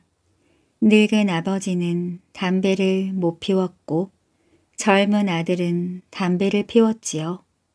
눈보라가 휘몰아치는 어느 추운 겨울 밤이었어요. 아버지와 한방에서 잠을 자던 아들이 슈위에 오들오들 떨며 잠을 이루지 못했습니다. 아들은 한동안 뒤척거리다가 자리에서 일어나 담배를 한 대 피워 물었지요. 아버지 역시 추위 때문에 잠을 이루지 못하고 있었습니다. 아버지는 몸을 잔뜩 웅크린 채 아들에게 물었어요. 얘야 자지 않고 앉아서 뭐하니? 너무 추워서 담배를 피우고 있어요. 뻐끔뻐끔 담배 연기를 피워 올리며 아들이 대답했습니다. 얘야 담배를 피우면 주위를 쫓을 수 있니? 주위를 쫓을 수는 없지만 깊이 들이마시면 훈훈한 기운이 조금 느껴져요. 아들의 대답에 아버지는 귀가 솔깃했습니다. 그럼 나도 한 대 다오. 시험 삼아 한 대 피워보게. 너무 추워서 잠을 잘 수가 없구나. 아들은 곰방대에 엽초를 담아 불을 붙인 다음 아버지에게 드렸습니다. 마침 그때 아버지는 헌 솜을 모자처럼 만들어 머리를 감싸고 있었습니다. 그런데 빨간 담배불똥이 그만 그 헌솜 위에 떨어졌지 뭐해요. 그런데 불을 붙여드린 아들도 곰방대를 받아든 아버지도 이 사실을 까맣게 몰랐습니다. 찌지직 소리를 내며 담배불똥이 조금씩 조금씩 헌솜을 태우기 시작했어요. 옆으로 눈 채 곰방대를 면목은 바라보던 아버지가 아들에게 말했습니다. 얘야, 담배를 피우면 어디서부터 먼저 더운 기운이 느껴지느냐? 뚜렷하게 느껴지는 곳은 없지만 그저 추위를 조금 덜 느낄 뿐이지요. 아들의 대답을 듣고 아버지가 말했습니다. 너는 여태 제 맛도 모르면서 담배를 피웠구나. 내가 피워보니 따뜻한 기운이 머리에서부터 느껴지는구나. 아버지는 여전히 머리에 감싼 헌 솜에서 불똥이 춤을 추는 걸 몰랐습니다. 그저 느긋하게 그 온기를 즐기고 있었지요. 아들이 막 자리에 누우려는 순간 아버지가 갑자기 벌떡 일어나며 소리쳤습니다. 아이고 뜨거워. 솜에 떨어져 조금씩 피어나던 불똥이 마침내 아버지의 머리를 태우고 끝내는 살갗으로 파고들었지요. 아버지는 두 손으로 머리를 사정없이 내리치면서 이렇게 소리쳤습니다. 얘야 내 머리 다 탄다. 손모자부터 벗겨라. 앞으로 두 번 다시 담배 따윈 안 피우겠다. 하고 말입니다. 오늘의 동화 못된 상제 이야기 옛날에는 상복을 입은 사람을 상제라고 합니다. 다시 말해서 상제는 부모님을 여인 아들인 셈입니다. 옛날 옛날에 어떤 마을에 못된 상제 한 사람이 살고 있었어요. 못된 상제가 상복 차림을 하고 저작거리를 어슬렁 어슬렁 걷고 있었습니다. 저작거리의 한복판을 돌아다니던 상제는 돼지고기를 삶아서 파는 가게 앞을 지나게 되었어요. 솔솔 퍼져 나오는 고기 냄새가 어찌나 고소하던지 상제는 도저히 그냥 지나칠 수가 없었습니다. 오, 군침이 저절로 넘어가는구나. 상제는 걸음을 멈추고 주위를 살펴보았습니다. 혹시 누가 자신을 알아볼까봐 걱정이 되었거든요. 사실 상제는 상복을 벗기 전까지 절대로 고기를 먹어서는 안 되는 거였습니다. 눈치가 빠른 가게 주인이 잽싸게 문을 열고 상제를 반갑게 맞았지요. 어서 들어오십시오. 이곳은 보는 사람도 없고 아주 조용합니다. 상제는 자신을 보는 사람이 하나도 없다는 것을 확인하고서 가게 안으로 들어섰습니다. 그럼 잠깐 쉬어갈까? 가게 주인이 순대를 곁들여 내장 삶은 것을 갖다 주었어요. 상제는 맞바람에 개눈 감추듯 순식간에 다 먹어 치웠지요. 트림을 한번 하고 나서 상제가 말했습니다. 머릿고기는 없나? 주인이 다시 머릿고기 한 접시와 고기 삶은 국물을 갖다 주었습니다. 상제는 고기 냄새를 맡으며 아주 만족했지요. 쩝하고 입맛을 다신 상제는 머릿고기를 소금에 찍어 맛있게 먹었습니다. 그런 다음 고기 삶은 국물까지 다 마시더니 돈도 내지 않고 슬그머니 가게에서 나갔어요. 상제가 팔자걸음으로 느릿느릿 걸어갔기 때문에 가게 주인은 뒷간에 가는 줄 알았지요. 그런데 그게 아니었습니다. 상제는 뒤도 돌아보지 않고 두세 가게를 지나쳐 계속 걸어가지 뭐예요? 이런 세상에. 깜짝 놀란 가게 주인이 재빨리 쫓아가 상제의 소매를 붙잡았습니다.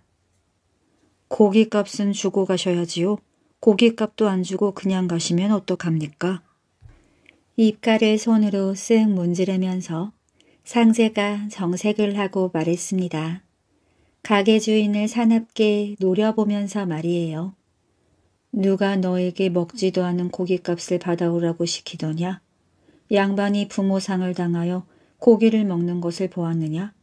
더욱이 상복을 입은 내가 네 집에 들어가 고기를 먹었다니 너는 부모도 없느냐?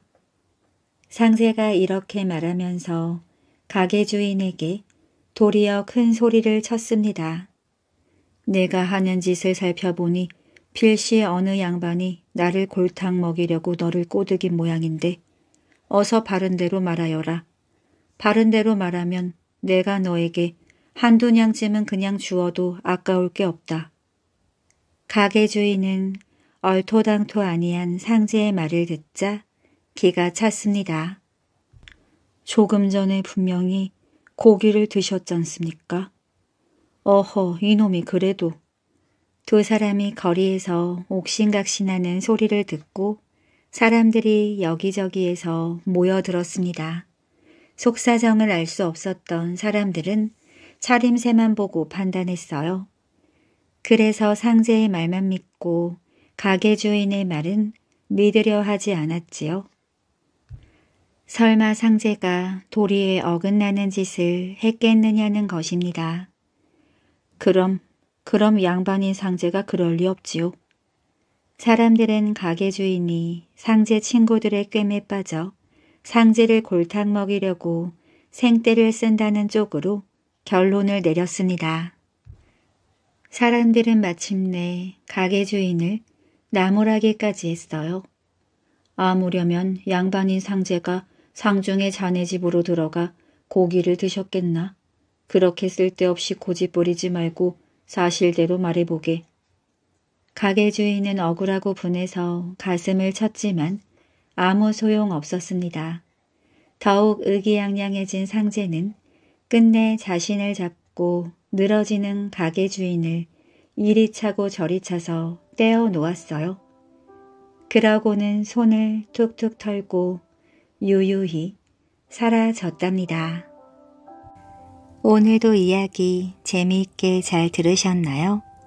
이야기 귀신 이야기에는 주머니에 갇혀서 화가 난 이야기들이 자신들을 가둔 꼬마 도령을 혼내주려고 한 이야기가 나옵니다.